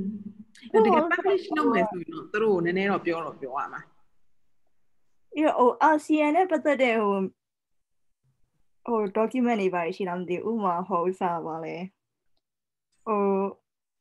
WMT တို့ပါလို့ဆိုရင် EU က document တွေပါနေယူရမလား EU ကနိုင်ငံပေါင်းစုံအတွက်သူတို့နိုင်ငံတစ်ခုချင်းစီအတွက်ပါလာတယ်ထုတ်ထားတဲ့ဟာဟမ်ဘာသာပြန်ထုတ်ထားတဲ့ဟာပြောတာသူတို့ဥမာအဲ့ဒီခုနကမျိုးဥမာဥမာအာဆီယံရဲ့ law တွေပါဆိုရင်ကွာတချို့ဟာတွေက နိုင်ငံတစ်ခုချင်းစီအတွက်ဘာသာပြန်တာတွေပါရှိလားမသိဘူးအဲ့အဲ့ဒါဆိုဆိုကြားဘူးတယ်မြန်မာတက်တော့ရှိမယ်ထင်တာပဲမပြောတော့ဗျာ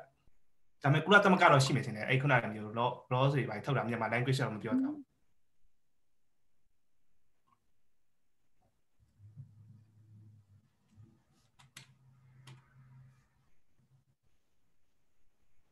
အေးဟိုလေ chat ထဲမှာကျွန်တော်ပို့တဲ့ဟာတွေမှာရှိတယ် အဲ့ဒီတတန်းလောက်ရှိတယ်စာကြောင်းအမှအခုလောဆယ်သူတို့ကစာပါကြနေတာပါလားတော့မသိဘူးတောင်းလို့မရဘူးပြန်တယ်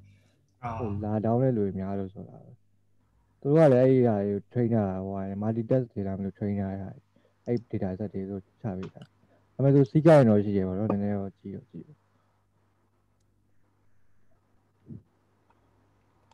ဒါနဲ့ဒီနေ့ဒီနေ့ဟို tag um tag talk ပြန်ကုန်ဟုတ်လား join မဲ့လူရှိတယ်ဒီနေ့ အော်အေးဟိုကမတ်မီမီอ่ะအမမီမီအဲ့ဒါစာပြန်ဟာကြည့်ဟုတ်အာမဆိုးလားဒီနေ့ join မှာအဲ့ဒါ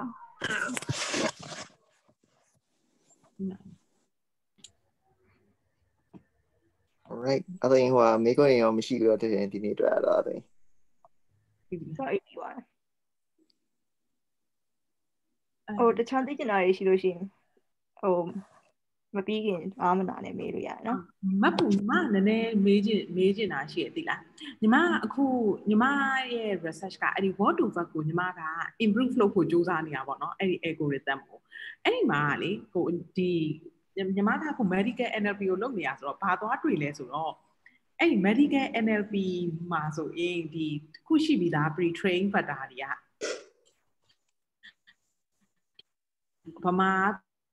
ဟာရှိဆိုရင် medical lecture တွေမှာညာရှိတယ်ပေါ့နော်အဲ့ဒီခါကျတော့အဲ့ဒီဟာတွေကဒီ social media မှာရေးကြတဲ့ medical review ဒီဆရာမွန်တို့ဒီဒီ medication တို့နဲ့ပတ်သက်တဲ့ဟာတွေပေါ်မှာကြာရင်ကောင်းကောင်းဒီသူ့ရဲ့ sentiment ကို capture မလုပ်နိုင်ဘူးပေါ့နော် capture မလုပ်နိုင်ဘူးအဲ့ဒီခါကျတော့အဲ့ဒီခါမျိုးဆိုလို့ရှိရင် Baron Ward ကညီမစီမှာအများကြီးပိုကောင်းတယ် what to better ထက်ညီမစမ်းကြည့်အားဘာလို့လဲဆိုတော့အခုလက်ရှိဒီ pre train model တွေကဘာလို့လဲဆိုသူ trainer တဲ့ corpus ကဒီ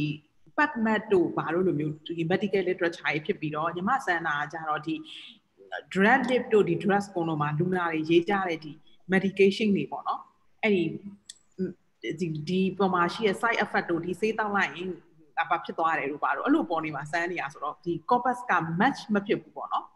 match မဖြစ်တော့အဲ့တော့ပြီးတော့ဒီတခြား အဲ့ဒီဒီလိုမျိုးအဲ့ဒီ review ဒီ medical review တွေပေါ်မှာ trainer တဲ့ custom model ကိုစမ်းတော့လေသူ့မှာဘာအားနည်းချက်ရှိလဲဆိုတော့သူဒီလက်ရှိရှိပြီးသား sentiment lexicon တွေကနဲ့ဒီ medical က sentiment analysis နဲ့ကနည်းနည်းကွဲပြားနေတယ်။တော့ကြောင့်ဒဲရေးတာမဟုတ်ဘူးပေါ့နော်။ဒဲရေးဒဲရေးတာမဟုတ်ဘဲနဲ့ဟိုကောင်းတယ်မကောင်းရေးတာမဟုတ်ဘဲနဲ့ဒီစေးတောက်လိုက်မှငါဘာဖြစ်သွားတယ်အဲ့လိုဟိုဒီစေးတောက်လိုက်မှအိတ်ချင်သွားတယ်ဒီစေးတောက်လိုက်မှဟိုအဲ့လိုအဲ့လိုမျိုးပါဒီစေးရဲ့လို side effect ကို ရေးရဆိုတော့အဲ့လိုမျိုးမတူတာမျိုးဆိုလို့ရှိရင်ဒီညီမတို့ဆို knowledge base အစ်စ်ပြန်ဆောက်ကမယ်ဆိုတဲ့ပုံစံမျိုးဘက်ကိုတွားရမှာပေါ့နော်အာအဲ့လိုမျိုးအဲ့အဲ့ဟိုဟာဟိုအဲ့ medical sentiment နဲ့ပတ်သက်တဲ့ဟိုဟာ corpus တွေရောရှိပြီးသားလား data တွေပါတွေကဟိုမှာ medical sentiment lexicon ကလေတခုတယောက်လောက်ထားရှိရဒါပေမဲ့အဲ့ဒါ open source မဟုတ်ဘူး open source မပေးဘူး okay အဲ့တော့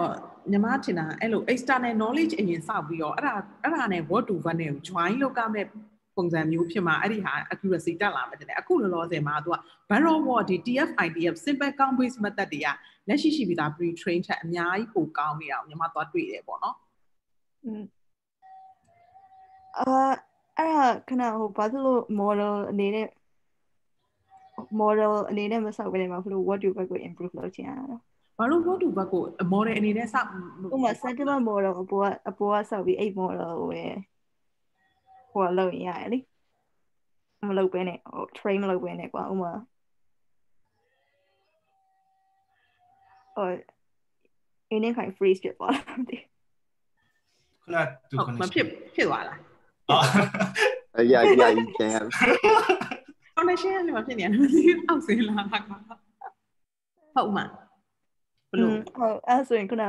ဟို what do what do ဘာရမသုံးမနဲ့ရိုးရိုးဟိုစားဘယ်လိုပြောရမလဲအဲ့ဟို PPE တို့လိုဘာလို့ model မျိုးသုံးပြီးတော့ရိုးရိုး sentiment model ပဲစောင့်ရင်ရောအဲ့လိုဟာမျိုးတွေပေါ့မှာอืมအဲ့လိုဟာမျိုးလဲ one of ပေါ့နော်ညီမကအဲ့ what to verb ကို improve လုပ်ဖို့ပဲအဲ့အဲ့အဲ့ဒီ algorithm ကိုညီမကကျင်းကျင်းတော်တော်ကြီးကြည့်ပြီးသွားပြီဆိုတော့အဲ့ဒီဟာရဲ့အားနည်းချက်ကိုအဲ့မှာသွားပြီးတော့အဲ့ဒီမှာအဲ့ဒါမျိုးများလုံနိုင်လို့ရှိရင် ဒီနှစ် combine လုပ်နိုင်ရင် maybe a new method တစ်ခုဟိုရင်းဖြစ်မလားဆိုပြီးအဲ့ဒီဟာကိုသွားပြီး focus လုပ်နေရဟို fusion learning method တွေပါတယ်လုပ်ကြည့်ရင်တော့ရမလားမသိဘူးမဟုတ်စားဘာပြောအဲ့ဟိုအဲ့ domain တဲ့ပတ်သက်တဲ့ data ကတော့လည်းပါ collect လုပ်ရမှာပဲကွာဒါပေမဲ့အဲ့လိုမျိုးထောင်နေတောင်းနေချီပြီး collect လုပ်စရာမလိုဘဲနဲ့ဥပမာ10ကျောင်းလောက်ပါပေါ့အကျောင်း30လောက်လိုမျိုးလုပ်ပြီးတော့အဲ့ internal knowledge တစ်ခုကိုအဲ့ဒီ what to what မှာသွားပြီး inject လုပ်ကမှာလားလို့အဲ့လိုမျိုးလေးစဉ်းစားကြည့်ရအမ် yeah အဲ့လောက်လဲဆိုပါပြောရလဲမသိဘူးရှင်ခုနဟို inject လုပ်တာဆိုတော့ခုနအဲ့လိုမျိုး medical corpus မှာပဲ train လုပ်လို့ရတယ်ခုန what to what train တဲ့ပုံစံမျိုးနဲ့ပြန်ပြန် train လို့ရတယ်ကွာအဲ့လိုမျိုး fine tune လုပ်လို့မျိုးပေါ့အော် transfer learning ကိုပြပြတင်တယ်ဟုတ်ဟုတ်ဟုတ် transfer learn yeah အဲ့ဒီပုံမှာကို BBE တို့ပါတော့အေးအဲ့ဒါလည်းဟုတ်တယ်နော်အဲ့ဒါလည်းတစ်ခုอืมအဲ့ဒီဟာကိုဘလို့ဘလို့နီးနဲ့ improve တော့ဖြစ်အောင်လုပ်ရမလဲဆိုတော့အုံစားကြီးအလွယ်ဆုံးကြီးကမျိုးဆိုရင်အေးဟိုအလွယ်ဆုံးကြီးကအဲ့လိုမျိုး what to back ကိုအစားပြန် train ကွာဒါပေမဲ့ train နေမဲ့ factor ကို randomly initialize မလုပ်ဘဲနဲ့ glove factor build တွေနဲ့ initialize လုပ်လိုက် ဟို glove ကရှိပြီးသားစဟုတ်လုံးဟုတ်တွေဟုတ်ဒီအဲ့ဟာကိုပဲအဲ့ဒါသုံးပြီးတော့ပြန် train fine tune ပုံစံမျိုးဖြစ်သွားတာအော်တော့ပါပြီပါဟုတ်အဲ့ဒီဟာမှာဒီ fine tune ကကြတော့ဒီ medical knowledge ပြန်ပြီးတော့ free shit လာကြရင် free ဖြစ်သွားတယ်ဟုတ်တယ် connection ကမငြိမ်ဘူးဖြစ်နေတယ်လူများလို့လားမသိအပေါ် မှာအခန်းပေါ်ရှိတော့အောက်ဆင်းလားอืมဆိုတော့အဲ့ဟာအလွယ်ဆုံးနဲ့အတိအတဆုံးပဲကွာဟုတ်ဟိုကဒါမှမဟုတ်ဟိုဟိုငါဟိုဒီ machine learning ဟို research ဆိုတာငါတိတ်ပြီးတော့လည်းမသိဒါပေမဲ့ဟိုကငါ generalize အနေနဲ့ဟိုပြောတာဆိုပြီးဟိုကလေဒီ passing level မှာလုပ်လို့ရှိရင်တော့ဥပမာငါတို့တစ်ခါကြောက်ရှိရင်လေဟို unknown levels တွေကို factor တွေဆောက်လို့ရှိရင်ကြူပြီးထည့်ထားမှာပိုပြီး flexible ဖြစ်အောင် model တွေကိုအဲ့တော့အဲ့ဒီ passing မှာအတွက်ကိုပဲအဲ့ medical term တွေကို generalize term stop level ထားပြီးတော့ train လို့ရှိရင်တော့အဲ့ဆိုလို့ရှိရင်ဟိုတစ်ခေါက် train ရပြီး generally ကကြာနေဟို database ဟို passing level မှာပဲချဲ့လို့ရတယ်အဲ့ဆိုရှင်ဟို model ဟိုပါပေါ့ဒီစေးအတိတ်တွေထွက်လာတိုင်းထိဟိုပါပေါ့ train ရမလို့တော့ ဟုတ်တို့တွေမှာလည်း unknown word ကရှိတယ်ဒါပေမဲ့ unknown word ကရိုးရိုးဘာမှအတိတ်ပဲမရှိတဲ့ battery ဖြစ်နေလို့ तू ကအဲ့ထက်ပိုပြီးကောင်း improve လုပ်ချင်တာ อืม ငါဟို domain level and and what ထားဖို့ပြောရ oh i see i see อืม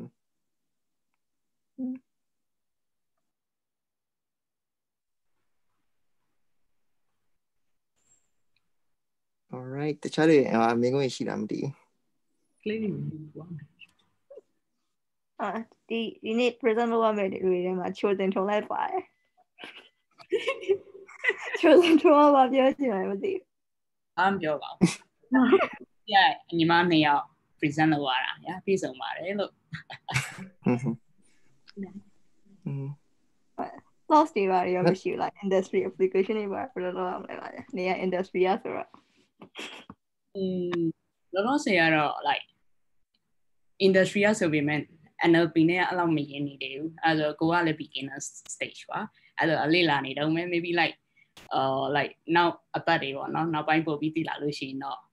ပို့ပြီးတော့ share လို့ရမယ်ထင်တယ်အဲ့ဒီ topic မှာရှောင်းတာတော့ရယ်အဲမဟုတ်ပါကိုဖိတ်မှာလောက်တာကြာတိတိုင်း but yeah ဒီ NLP နဲ့မဟုတ်ဘဲနဲ့တခြားဒီ data science နဲ့ပတ်သက်တဲ့ question တွေလို့ဘာလို့မေးချင်တော့ like privately လာမယ်လို့ရတယ်ပေါ့နော် ဒီ group ထဲမှာလည်း data science လုပ်နေတဲ့လူတွေရှိရဲဆိုတော့ဟုတ်ဟုတ်တယ်ဟောလေးဟုတ်မေးပါဟုတ်ဒီဘက်မှာလေဟိုအိမ်ဟိုဘက်အိမ်မှာအိမ်စောင့်နေရဆိုတော့နည်းနည်းတော့စူတာလေးရှိရနောက်မှာအတန်းထုထားတယ်ဟုတ်ဟိုပါလေအဲလိုမျိုး data science နဲ့လုပ်မယ်ဆိုရင်အခုအခုအဲ ဟိုပါဗာလဲဖန်တီးရနဲ့တခြားဟိုနီးပညာအချက်လက်ဆိုင်ရာဟို government organization ကနေပြီးတော့လုပ်တဲ့ဟာလေအဲ့ဒါအဲ့ဒါဟိုအခုကိုဆရာကဟိုတင်းနှန်းနေ3800လောက်ကိုဟို free တက်လို့ရတယ်ဆိုပြီးတော့အဲ့လိုမျိုးပြောရလေအဲ့မှာဆိုရင်တကယ်လို့မှ data science တယောက်ဖြစ်ဖို့လို့ address ဆိုရင်အာအဲ့ထဲမှာအဲ့လိုမျိုးဘယ်လိုမျိုးတင်နန်းနေတက်ရင်အဆင်ပြေမလဲအဲ့လိုမျိုးသွားတဲ့ ညာနေကိုသိချင်တယ်ဟုတ်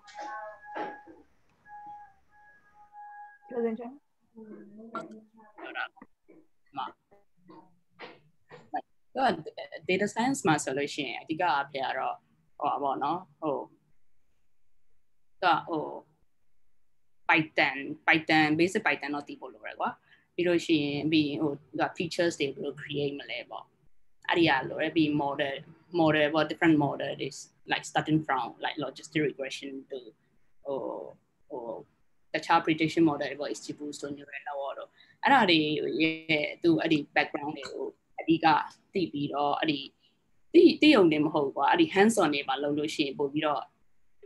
impacted ဖြစ်မယ်ထင်တာပဲ cost ကိုလေ့လာတာထက်စားလို့ရှိရင်ပေါ့အဓိကအပြ data science မှာတော့အဓိကကြည့်တာကြတော့ကိုတွေဘယ်လောက်လုပ်ဘူးလဲ ဘာလို့ဆိုတော့ cost တွေကတော့လူတိုင်းတက်ပူတာပဲဟုတ်တယ်မလားတက်တက်ပြီးတော့တကယ် implement လုပ်မှာကိုအဲ့လိုဟိုလက်စုပ်လက်ကိုက်ပြနိုင်လို့ရှိရင်တော့ပို့ပြီးတော့အဆင်ပြေတယ်ကွာအဲ့ဆိုတော့ cost တာအပြင် market တွေပါတယ်လို့အဲ့ဒီဟာတွေကိုပါ join စေချင်တယ်ပေါ့နော်အဲ့တော့ hands on experience တွေရတော့တယ်ကွာအဲ့တော့ပြီးရင်ပြီးအဲ့လိုဟို sharing session တွေလို့ပေါ့ကိုအဲ့ဒီကိုစောက်ထားတဲ့ model တွေပါတယ်လို့ဆိုလို့ရှိရင် GitHub တို့ပါလို့မှာ တင်တင်ပြီးတော့အဲ့လိုသူများတွေနဲ့ discussion တွေပါတယ်လို့ကိုကိုပေါ့ visibility ရအောင်ပို့ပြီးလို့ပေါ့နော်အဲ့ဆိုရင်ပို့ပြီးအဆင်ပြေမယ်တဲ့ courses တွေကနောက်ခဏနေ share ပေးလိုက်မယ်ပဲဟာတွေကအဲပို့ပြီးတော့ဟိုအရေးကြီးလဲဆိုတာပေါ့နော်ဟုတ်ဟုတ်ကျေးဇူးပါဟုတ်အခုအခုညီမ project တစ်ခုပေါ့လေအဲ့လိုမျိုး data science နဲ့ပတ်သက်တဲ့ project တစ်ခုလုပ်နေရပေါ့အဲ့ project မှာကျတော့ तू က အာ customer ရဲ့ဟိုနာမည်တော့မပါဘူး ID ရဲ့ပြီးရင်သူ့ရဲ့ transaction ရဲ့ history ရဲ့ပြီးရင်အာ transaction history ရဲ့ပြီးရင်အဲ့လူကဘယ် product ကိုဝယ်ခဲ့တယ်ပြီးရင်ဘယ် campaign လုပ်တုန်းကဘယ်လိုမျိုးအမြတ်ရတယ်ဆိုတာကိုမူတည်ပြီးတော့မှဟိုသူ့ရဲ့ဟိုသူကသူကဘယ်လိုပြောရမလဲနောက်တစ်ခါအဲ့လို campaign တွေလုပ်တဲ့အခါမှာသူကနောက်ထပ်ဆက်သွယ်တဲ့ customer လားဒါမှမဟုတ်ရင်ဒီ customer က ဟိုတိတ်ပြီးတော့မဝယ်ဘူးပေါ့အလားလာမရှိဘူးပေါ့အားကြောင့်မို့လို့သူ့ကိုဟိုဆက်ပြီးတော့မဆက်သွယ်တော့ဘူးလိုမျိုးပုံစံမျိုးဟို data science project တစ်ခုလုပ်ရမှာရှိရလေအဲ့ဒါကိုအမှန်တိုင်းပြောမယ်ဆိုရင်အခုချိန်ထိအဲ့လိုမျိုးမစရသေးဘူးအဲ့လိုမျိုးဖြစ်နေတယ်ဟုတ်ပြဿနာလို့ဖြစ်နေတာဘာလဲဆိုတော့ဘယ်ဟာဘယ်ဟာ independent variable လဲဘယ်ဟာ dependent variable လဲဆိုတာကိုပဲဟိုခွဲခြားဖို့အတွက်နည်းနည်းခက်နေအဲ့လိုမျိုးဖြစ်နေတာဟုတ်อืม okay အဲ့အဲ့ဒါပြောဆိုလို့ရှိရင်သူက approach ကအဲ like normal logistic regression နဲ့လို့ခုနပြောသလိုမျိုး independent dependent variable နဲ့ဒီတိုင်း regress လုပ်လိုက်ရတယ်အဲ့ဒါကတော့ very simple approach ပေါ့နောက်တစ်ခုကကျတော့ prediction model ဆောက်လို့ရတယ်ဟာပါတော့အဲ့ဒီအရင်က campaign မှာသူ transaction တွေရှိဟုတ် previous transaction တွေအဲ့ဒါကိုကြည့်ပြီးတော့သူကအဲ့ဒီ campaign ကိုဟိုဟာ real လုပ်လားမလုပ်လားအဲ့ဒါကိုမှကိုက manually တော့မဟုတ်ပါတော့အဲ့ဒီသူအရင်ကအဲ့ဒီ transaction ကိုကြည့်ပြီးတော့ဒီ target ကို tag လုပ်လိုက်တာပေါ့အဲ့လို tag လုပ်ပြီးတော့အဲ့ဒီမှာဆိုရင်ကို့မှာ target either 1 or 0ဖြစ်သွားမယ်ကွာအဲ့ဒီဖြစ်သွားလို့ရှိရင်အဲ့ဒီမှာ data အဲ့ဒီ previous data set ကိုထားပါတော့အဲ့ဒီ tree tree base model ဒါမှမဟုတ် XGBoost တို့ဒါမှမဟုတ် SPM neural network အဲ့ဒီတွေကိုထည့်လိုက်လို့ရှိရင်ကြတော့အဲ့ဒီ classification algorithm တစ်ခုထွက်လာမယ်အဲ့ဒါနောက်တစ်ခုကွာ another one ကကြတော့ဟို net value NPV net present value ဆိုတာရှိတယ် အဲ့ဒါကြတော့အဲ့ဒီ risk model လို့ခေါ်တယ်ညီမအဲ့ဒီကိုကိုဒီဟို customer တွေကို segment လုပ်ပြီးတော့ဒီ customer ကဒီအခု target လုပ်လို့ရှိရင်ကိုပေးရမယ့် cost နဲ့ profit နဲ့ကဘယ်လောက်လဲဆိုတာကိုတွက်တာအဲ့ဒါကြတော့ not like the next level ဖြစ်သွားပြီကွာဟုတ်ဟုတ်ဟိုဘယ်လိုပြောမလဲအဲ့ဒီအဖွဲ့ထဲမှာပြောတာတော့ဟုတ်တယ်သူက customer က8000ရှိတယ်ဆိုရင်အဲ့8000 10ခုခွဲလိုက် တာအဲ့လိုခွဲလိုက်ပြီးတော့မှတစ်ခု1000ပေါ့အဲ့1000အုပ်စုမှာဘယ် customer အလားလာရှိတယ်နောက်1000မှာဘယ် customer အလားလာရှိတယ်အဲ့လိုမျိုးခွဲခိုင်းတာအတခါမှမလုပ်ဘူးဆိုအဲ့ဒါအဲ့ဒါအဲ့လိုမမြင်ဘူးဖြစ်နေအဲ့လိုဖြစ်ဟုတ်ဟုတ်အဲ့လို segmentation ဟို gaming approach နဲ့ segment လုပ်လိုက်လည်းရတယ်ညီမ gaming ဆိုတော့ gaming ဒါမှမဟုတ် hierarchical clustering approach နဲ့ customer ရှစ်ထောင်လို့သူ တို့ရဲ့အဲ့ဒီ past transaction ကိုကြည့်ပြီးတော့ဗောနော်ဒီ customer တွေကတော့ဘလောက်ဟိုပါဗောအဲအဲဘလို့ဘလို့ customer မျိုးလဲပေါ့သူတို့ spending behavior ပေါ့နော်ဒီကောင်သူသူတို့က frequently spend တဲ့လူလားဒါမှမဟုတ်နောက် customer တခုကကြတော့ဟိုဒါပါတော့ weekday ပါပဲ spend တဲ့လူလား weekend မှာပဲ spend တဲ့လူလားအဲ့လိုမျိုး cluster လုပ်လို့လည်းရတယ်အဲ့ဒါလုပ်ပြီးတော့မှထားပါတော့ဒီ out campaign အတွက်ဆိုရင်ဒီ customer တွေကဒါ frequently spend တဲ့လူဆိုအိုး သူတို့ target လုပ်ရင်ပို့ပြီးတော့ benefit ရှိနိုင်လားဒါမှမဟုတ်လို့ရှိရင် median group ထဲကလူတွေကို target လုပ်လို့ရှိရင်ပို့ပြီးတော့ benefit ဖြစ်နိုင်လားအဲ့ဒါကကြတော့ business domain နဲ့ကြည့်ပြီးတော့ decide လုပ်လို့ရတယ်ကွာဟုတ်ကျေးဇူးပါဟုတ်အဲ့ပါဟုတ်ကြိုးစားကြည့်လိုက်ပါအောင်ဟုတ်တဲ့ရပါတော့ link တင်มาလာနေလို့ရပါတယ်ဟုတ်ကဲ့ပါဟုတ်အော် link မှာလည်း friend ဖြစ်တာနော်ဟုတ်ဟုတ်ကျေးဇူးပါ ဟာ question ရှိသေးလားမရှိဘူးမရှိ ဟို တော့ တခုတခုမင်းလို့လေ ဟုတ်ကဲ့ ဟိုဒီမှာဆိုရင်ဟိုပါဗော graph တို့အဲ skill grant တို့မှာဆိုရင် raw amount တွေက300 300သူကဗီဒီယိုထဲမှာလည်း300လောက်စမ်းတာရှိတယ်လေ1000လောက်ထိ dimension 1000လောက်ထိမှာဆိုတော့နောက်ပိုင်းကျတော့ချင်း flat ဖြစ်သွားတယ်ဟော performance ကညီရောဒါပေမဲ့အဲ့ transformer ကြတော့လေသူက900တစ်ထောင်နေသုံးတယ်နော်အဲ့သူတို့ကကြောက် model กว่าွားလို့လား ဟိုအမှတော့အတိုင်းပဲလားအဝင်ဟော ဟုတ်သူ performance တို့ က လည်း ဒီ လိုမျိုးပဲဟိုစား hyper parameter tuning လုပ်ပြီးတော့လိုမျိုးဒီဟာအကောင်းဆုံးဖြစ်တယ်ဆိုပြီးလိုမျိုးတွေ့တာပေါ့နော် အဲဟိုမှာကျတော့ဒီ graph တို့ဘာလို့မှာကျတော့300တို့300အကောင်းဆုံးပေါ့နော် อืมဆိုတော့ तू ကအဲ့လိုမျိုး तू model လဲ shallow model ဖြစ်တာမူတည်တာပေါ့နော်ဆိုတော့ shallow model ဖြစ်တာဆိုတော့ဟိုက dimension ချဲလို့ရှိရင်လည်းသိပ်ပြီးတော့ဟိုတင်ယူနိုင်ဆိုရင်အဲ့လောက်ကြီးမကောင်းလို့ လို့ဘယ်လိုပြောရမလဲဟိုတိုးတက်တာသိပ်မရှိလာဘူးပေါ့ဆိုတော့300လောက်နဲ့ပဲတိုးတက်တဲ့ဘယ်လိုပြောရမလဲ accuracy ဘာတွေကရက်သွားတာပေါ့နော်ဟိုမှာကျတော့အဲ့ transformer model အဲ့လိုမျိုး bird တို့ဘာတော့ကျတော့တကယ် massive model ကြီးတွေဖြစ်ပြီးတော့သူ့ရဲ့သိယူနိုင်စွမ်းအရင်များနေတော့อืม ဟုတ်ကဲ့ဟုတ်ကဲ့ dimension ကြီး ဟိုက လာ ဟာကျွန်တော်ရဲ့ဟိုပါဘောနော်အဲ့အတွေ့အကြုံရပြောရမယ်ဆိုလို့ရှိရင်ခုနကမျိုးအဲ့ model က share model ရဲ့ပြီးရင်ခုနကမျိုး tip model ကိုသက်စားလို့ရှိရင်ပိုပြီးအရေးကြီးတာကျွန်တော်တို့ data size ရဲ့ပမာဏပေါ့နော် data set ရဲ့ size ပေါ်မှာလည်းမူတည်တယ်တချို့အဲ့ဥပမာကျွန်တော်တို့ data set က size အရင်တည်ရဆိုလို့ရှိရင်အဲ့မှာ deep learning မှာတွားပြီး run လို့ရှိရင်အဲ့ခုနကထွက်လာတဲ့ performance ကခြေထားတလောက်လုံးဝမကောင်းဘူးเนาะကျွန်တော်ရိုးရိုးခုနကမျိုးအဲ့ regression model ပဲဖြစ်ဖြစ် classification model ကိုကျွန်တော်လက်ရှိရှိနေတဲ့အဲ့ statistic မှာတုံးခဲ့တဲ့အဲ့ model တွေက တခါတလေချန်ပို့ပြီးကောင်းတယ်ပေါ့နော်အဲ့ဘာကြောင့်လဲဆိုတော့ကျွန်တော်ခုနမျိုးအဲ့ input လုပ်လိုက်တဲ့ data ပေါ်မှာကျွန်တော်အဲ့ data တစ်ခုနဲ့တစ်ခုပေါ့ခုနမျိုးကျွန်တော် worst worst day ဆိုလို့ရှိရင်လည်းခုနမျိုးပေါ့နော်အဲ့ data frequency occurrence frequency ပေါ်မူတည်ပြီးတော့အဲ့အရင်များတဲ့အဲ့ခုနမျိုးပေါ့နော်ထက်ထက်ခါတည်းလဲပါတယ်ဆိုလို့ရှိရင် data site ပေါ်များတယ်ဆိုလို့ရှိရင် learning ကပို့ပြီးတော့သူက capture ပြန်ပို့လုပ်နိုင်တယ်ပေါ့နော် semantics ကိုပို့ပြီး capture လုပ်နိုင်တဲ့အတွက်ကြောင့်ခုနမျိုးကျွန်တော်တို့အဲ့ accuracy ပိုကောင်းတယ်ဆိုရင်အပိုင်းမှာလည်းဟိုတတိထားဖို့လိုတယ်ပေါ့နော် ဒါပေမဲ့ခုနပြောလို့မျိုးပဲဟို shallow ကြတော့လေ data set size အကြီးနဲ့လိုက်ပြီးတော့ scale မဖြစ်ဘူးကွာတည်ရမလားဒါပေမဲ့ language model တွေကကြတော့အဲ့လိုမျိုး massive language model တွေက data set size ကြီးလာတယ်အများတော့ scale ဖို့ဖြစ်တယ်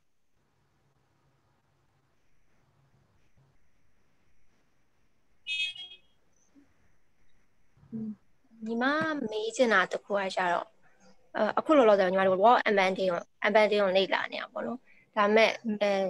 အဲ့ဒီဘက်မဟုတ်ဘဲねဒီ traditional ဘက်ပြန်သွားပြီးတော့သိချင်တာလေးရှိလို့ပေါ့ဒီညီမတို့မြန်မာစာမှာပဲ segmentation လို့လောက်တာကိုဒီရဲ့ဟို manually segmentation လုပ်ပြီး train မြင်လဲပေါ့ဘာလို့ဆိုညီမကဟိုဟာဒီဝါစင်က pad of speech တွေကို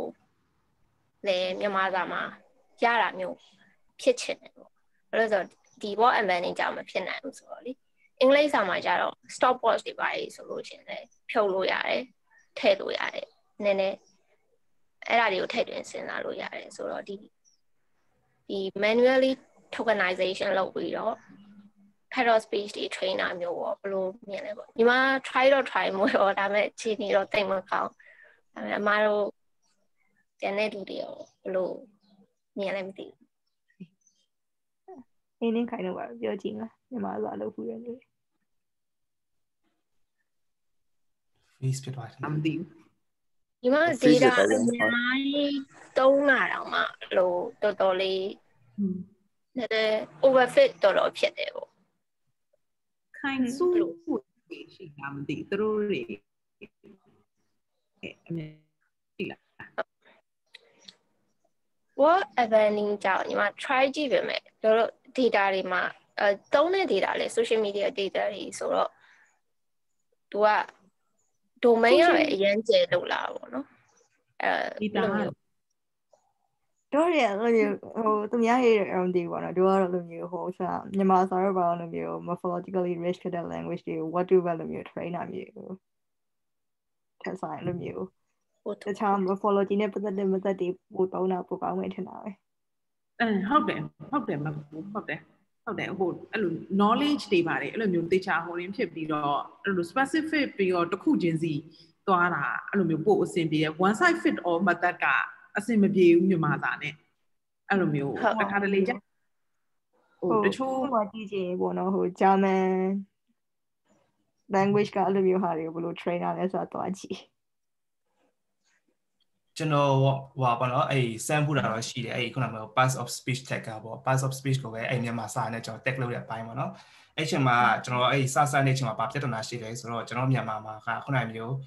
အဲ့ဟိုပါပေါ့ကျွန်တော်တို့အဲ့ word tokenizer ပေါ့နော် word tokenizer ကောင်းကောင်းရှိတာတခုရယ်နောက်တစ်ခုကရှိတာလဲကျွန်တော်ခုနကမျိုး regular expression တုံးပြီးတော့ word tokenizer ကြည့်တော့မသွားဘူးကျွန်တော်မြန်မာမှာဆိုလို့ရှိရင်တော့ဘာလို့ခေါ်လဲဆိုတော့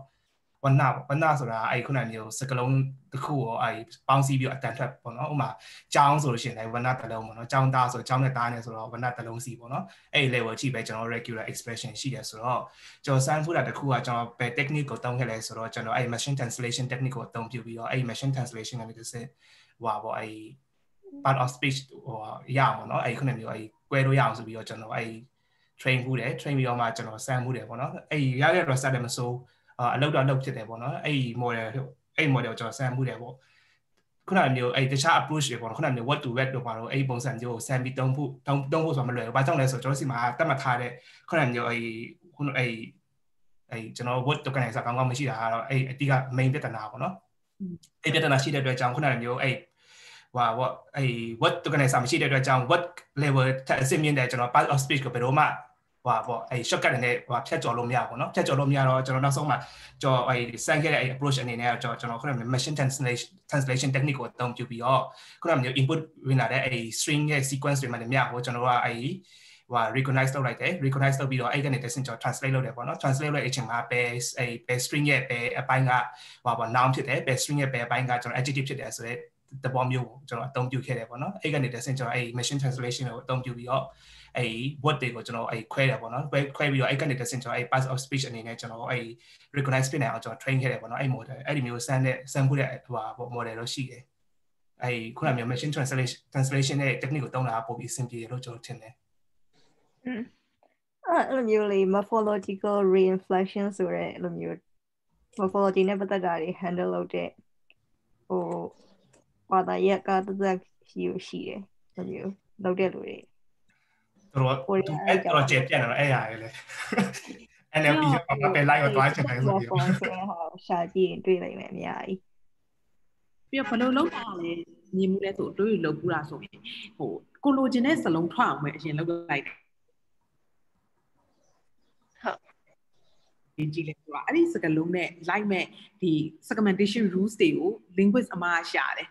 linguist အမှားရှာတယ်အဲ့ဒီပုံမှာပဲအမှားတို့ဒီအလုံးလုံးသွားတယ်ပေါ့နော်အဲ့ကိုကို application ကဘာကို emphasize လုပ်ချင်တာလဲပေါ့ application by application segmenta တစ်ခုစီတောင်အမှားအရင်လုပ်ခဲ့တဲ့ရုံးမှာရှိတယ် segmenta တစ်ခုတည်းနဲ့အမှားတို့အလုံးမလုပ်ဘူး segmenta အမှားတို့မှာ3 4ခုရှိတယ်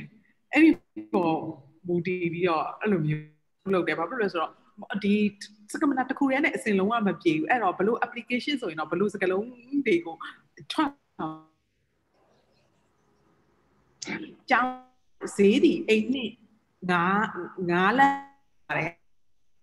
ဈေးတွေကဈေးထဲမှာခဲညင်ပြီးရောင်းတယ်ဆိုတာအစုံဒီတီဆိုတဲ့စကားလုံးဒီ store ကဖြစ်ချင်တဲ့နေရာဖြစ်တယ် store ကမဖြစ်ချင်တဲ့နေရာမဖြစ်ဘူးပေါ့နော်အဲ့ဒီခါကျတော့အမားတို့မှာအဲ့ segmenta 3-4ခုနဲ့အထင်မှာတို့အလုပ်လုပ်ဘူးလေဘယ် application ဘယ်လို application ဆိုရင်အဲ့ဘယ်လို segmenta နဲ့အလုပ်လုပ်မယ်ဆိုပြီးတော့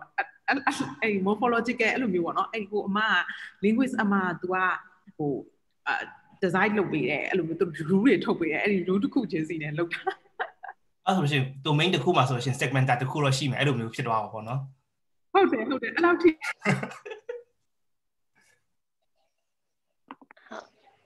ညီမသားတော်တော်ရှုပ်စိတ်ကိုရင်းဖြစ်တယ်နောက်ဆုံးတခြားနည်းလမ်းတွေလည်းအများကြီးရှိချင်ရှိလာနိုင်ပါတယ် အဲ token tokenizer အဲ့လိုမျိုး tokenizer များမြန်မာစာအတွက် tokenizer ကောင်းကောင်းများရလာမလားဆိုပြီးစဉ်းစားပြီးနည်းနည်းရေး try ကြည့်နေရတော့ရှိရဲ့ပေါ့အဲ့လိုမျိုးအဲ့လိုမျိုးရလာလို့ရှိရင်အသုံးဝင်လောက်မလားဆိုပြီးတော့သုံးနေတာပေါ့ open source လုပ်လိုက်လေအတီးကတော့ရှိပါတာ open source ရောက်ရေးကြည့် ပြီးတော့ခတ်တာကလည်းအဲ့ဒါတွေကလည်းလေကို NLP နဲ့ပတ်သက်ရင်လေမြန်မာပြည်မှာတိတိတိလေးတွေလုပ်နေတာများပြီးတော့အကုန်လုံးကမစုမိတော့လေသိလားနောက်လာပါပဲဒီလမ်းကိုထက်ရှောက်အဲ့ငါတို့ also resource jam လုပ်တဲ့ website တခုလုပ်လိုက်မှာအဲ့လည်းမစိုးဘူးပဲကျွန်တော်တို့အဲ့ဒါမဲ့တော့အခုဒီ group တွေရှိပြီးသားဆိုတော့ဒီ group ကနေစင်ပေါ့နော်နောက်ဆုံးမှအဲ့ project တခုပဲဖြစ်ဖြစ် အာသူအဲ့ word tokenizer ကောင်းကောင်းတခုပဲဖြစ်ဖြစ်ဟာဖန်တီးသွားနိုင်လဲအကျိုးပြုတာပဲဒီနော်အဲ့ဒါမစိုးဘူးပဲอืมဟုတ်ကဲ့မအဲ့အဲ tokenizer အတွက်ရေးထားတခုတော့ရှိရပေါ့ဒါပေမဲ့ညီမလောလောဆယ် academic ဘိုင်းမဟုတ်တရောဖေးပိုင်းပိုင်းထုတ်ချင်မယ်မဲ့ဘာဘာလိုပန်းဘာလောက်ရမယ်မသိဘူးအဲ့လိုမျိုးဖြစ်နေ master တက်ဖို့ plan နေအောင်မရှိတယ် ဒီ NLB ဘက်မှာတော့တုံလုံးနေရတော့3နှစ်လောက်ရှိတော့ဒီမြန်မာသားမှာတော်တော်ခက်ခဲဖြစ်နေရရောတွေ့ရပေါ့အဲ့တော့အဲညာဒီ group join တာကလည်းဒီဖေးပိုင်ပိုင်တူထုတ်ချင်လို့ပါညာဟုတ်အဲ့ဒါဆိုရင်အဲ့တူကိုကြိုပြီးဥထားတာပေါ့နောက်မှ paper ထုတ်တဲ့ချိန်ကျမှပဲ open source လုပ်ဖို့စဉ်းစားထားတာအဲ့ဆိုအနည်းဆုံးနှစ်နှစ်လောက်တော့စောင့်မယ်ခင်ဗျ ဟို paper အခုထုတ်ချင်တဲ့ရေးထုတ်လိုက်လေ Yeah. နည်းနည်းဆောင်ရလို့ပါအဲ့ paper ထုတ်တာကျွန်တော်ကျောင်းမှာတုံးတက်တဲ့ကျောင်းတက်တဲ့လူမှာထုတ်လို့ရတယ်ဆိုတာမဟုတ်ဘူးเนาะကျွန်တော်ဥပမာအဲ့ခုနကမျိုးသူက independent researcher လို့ခေါ်ရလားအဲ့ဒီမှာခုနကမျိုးကျွန်တော်အဲ့ဟုတ် corporation မရှိဘဲနဲ့ပဲကိုပါဘူးပေါ့เนาะအဲ့ဒီမျိုး independent အနေနဲ့ထုတ်လို့ရတယ်လို့ကျွန်တော်ထင်တယ်เนาะအဲ့ကြားဘူးတယ်အဲ့ဒီမျိုးလေးရတယ်ရတယ်ရတယ် အခု knuckle workshop deadline တွေပါရှိတယ်လေတင်ရင်အခုတင်လို့ရသေးမိသေးတယ်နောက်ကြမှာတကယ်တကယ်ရေးနေတဲ့ paper ကိုရေးကြည့်ပြီးတော့ဒိုးတွေရဲ့ group ထဲမှာတင်ကြည့်လိုက်လေဒိုးတွေဝိုင်းဖတ်ပေးမယ်ဟုတ်ဟုတ်ဟုတ်အဲ့နဲ့ပတ်သက်ပြီးသိချင်တာရှင်တယ်ဒီကြရင်ဟို Slack ထဲမှာလာမေးတိုင်း ဟာဟုတ်တော့မ morphology နဲ့ပတ်သက်ပြီးဘာမှသိမသိဘူးလည်းမျိုးဒါပေမဲ့သိရလို့ရှိပြီလက်ထဲမှာလုံနေလို့ရှိတယ်အပြီးတော့ဟိုမြန်မာစာအဲ့ဒီဟာနဲ့ပတ်သက်ရင် UFL ကဒေါက်တာခင်တန့်စင် linguistic ဌာနတော်တော်ကြီး strong ဖြစ်တယ်အရန်တော်တယ်ဆီယာမနဲ့ဆီယာမနဲ့အဲ့လိုတစ်ခေါက်လာမဆီယာမနဲ့တတိချာစကားပြောကြည့်လိုက်တာတော်တော်ပညာရတယ်အဲ့လိုသူအရင်ကအဲ့ဒီလေ UFL ကဖွင့်တဲ့ linguistic သင်တန်းဆိုပြီးရှိရသိလားအခုကျတော့ ဟိုရင်းမမဖွင့်တော့လားပါလားမသိကိုဗစ်နဲ့ online ပြန်ဖွင့်တော့တော်တော်အဆင်ပြေမယ်သူသူတော်တော် strong ဖြစ်တယ်အမလည်း linguistic နဲ့ပတ်သက်ရင်မသိဘူးအလောက်ကြီးကိုရဖတ်နေရ college ပါလို့ရှိရင် NLP ကိုလေ့လာရင်တော်တော်ဟိုအကျိုးပြုတယ်နော်အထောက်ကူပြုတယ်လို့ပြောရမှာနော်အဲ့ဆီယာမနဲ့အဲ့စကားပြောကြည့်လိုက်တော့မှအဲ့လိုတချို့ဟာမြင်သွားပြီးတော့ခုကိုပါအော်ငါမြန်မာသားတကယ်မတက်ဘူးပဲဆိုတာသိပါ ကျွန်တော်တို့ကလည်းအခု NLP လာလောက်နေတာမြန်မာစာကိုသိရမလားခုနကမျိုးတတားလေးတီတီချာချာရလာဆိုကျွန်တော်ကျွန်တော်ကိုယ်တိုင်လည်းအဲ့လောက်ထိဟိုမသိဘူးမြန်မာစာတုံးကတုံးခဲ့တာသိရမလားတကယ်တော့ခုနကမျိုးပေါ့သူများနိုင်ငံခြားသားတွေကကိုမြန်မာစာလေးလာပြီးတော့ကိုယ်လာမေးလို့ရှိရင်အော်ဒီဟာတင်လို့လားမသိဘူးငါတော့နေလိုက်အဲ့လိုပဲတုံးခဲ့တယ်တော့ပါတော့အဲ့လိုဖြစ်တတ်တယ်တခါတလေဟုတ်တယ်အဲ့အဲ့ဒီ UFL linguistic ဌာနကတော့တော်တော် strong တယ်ဒေါက်တာခင်တန့်စင်တို့ပြီးတော့အဲ့ဟိုမြန်မာသားဆရာကြီးစာသိတယ်တော်တော်ကောင်းတယ် သူတို့ရေးရတယ်ဗာလဲအချဘာသာဗေဒတို့ပါတို့အဲ့ဒါလေတော်တော်ရှုပ်တာနော်တကယ်ကိုလေဟာအဲ့တော့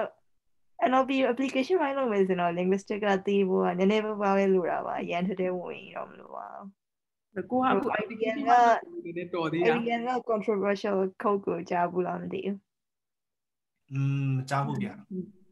ဟိုက IBM ခဏ ရှာကြည့်လိုက်မယ်တော့ကြာမှားပြီးကုန်ပြီလို့ရှိရင်ကိုပြစ်ကြနေပါဆို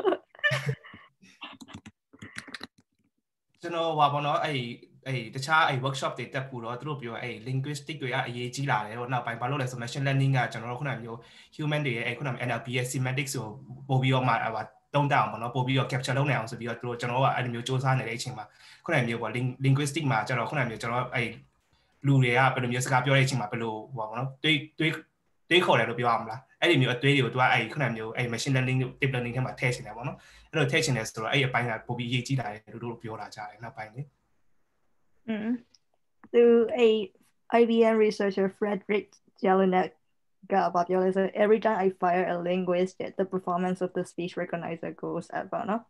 linguistic ရလို့ဖြုတ်လိုက်သူ system ကဘောဘောကောင်းလာ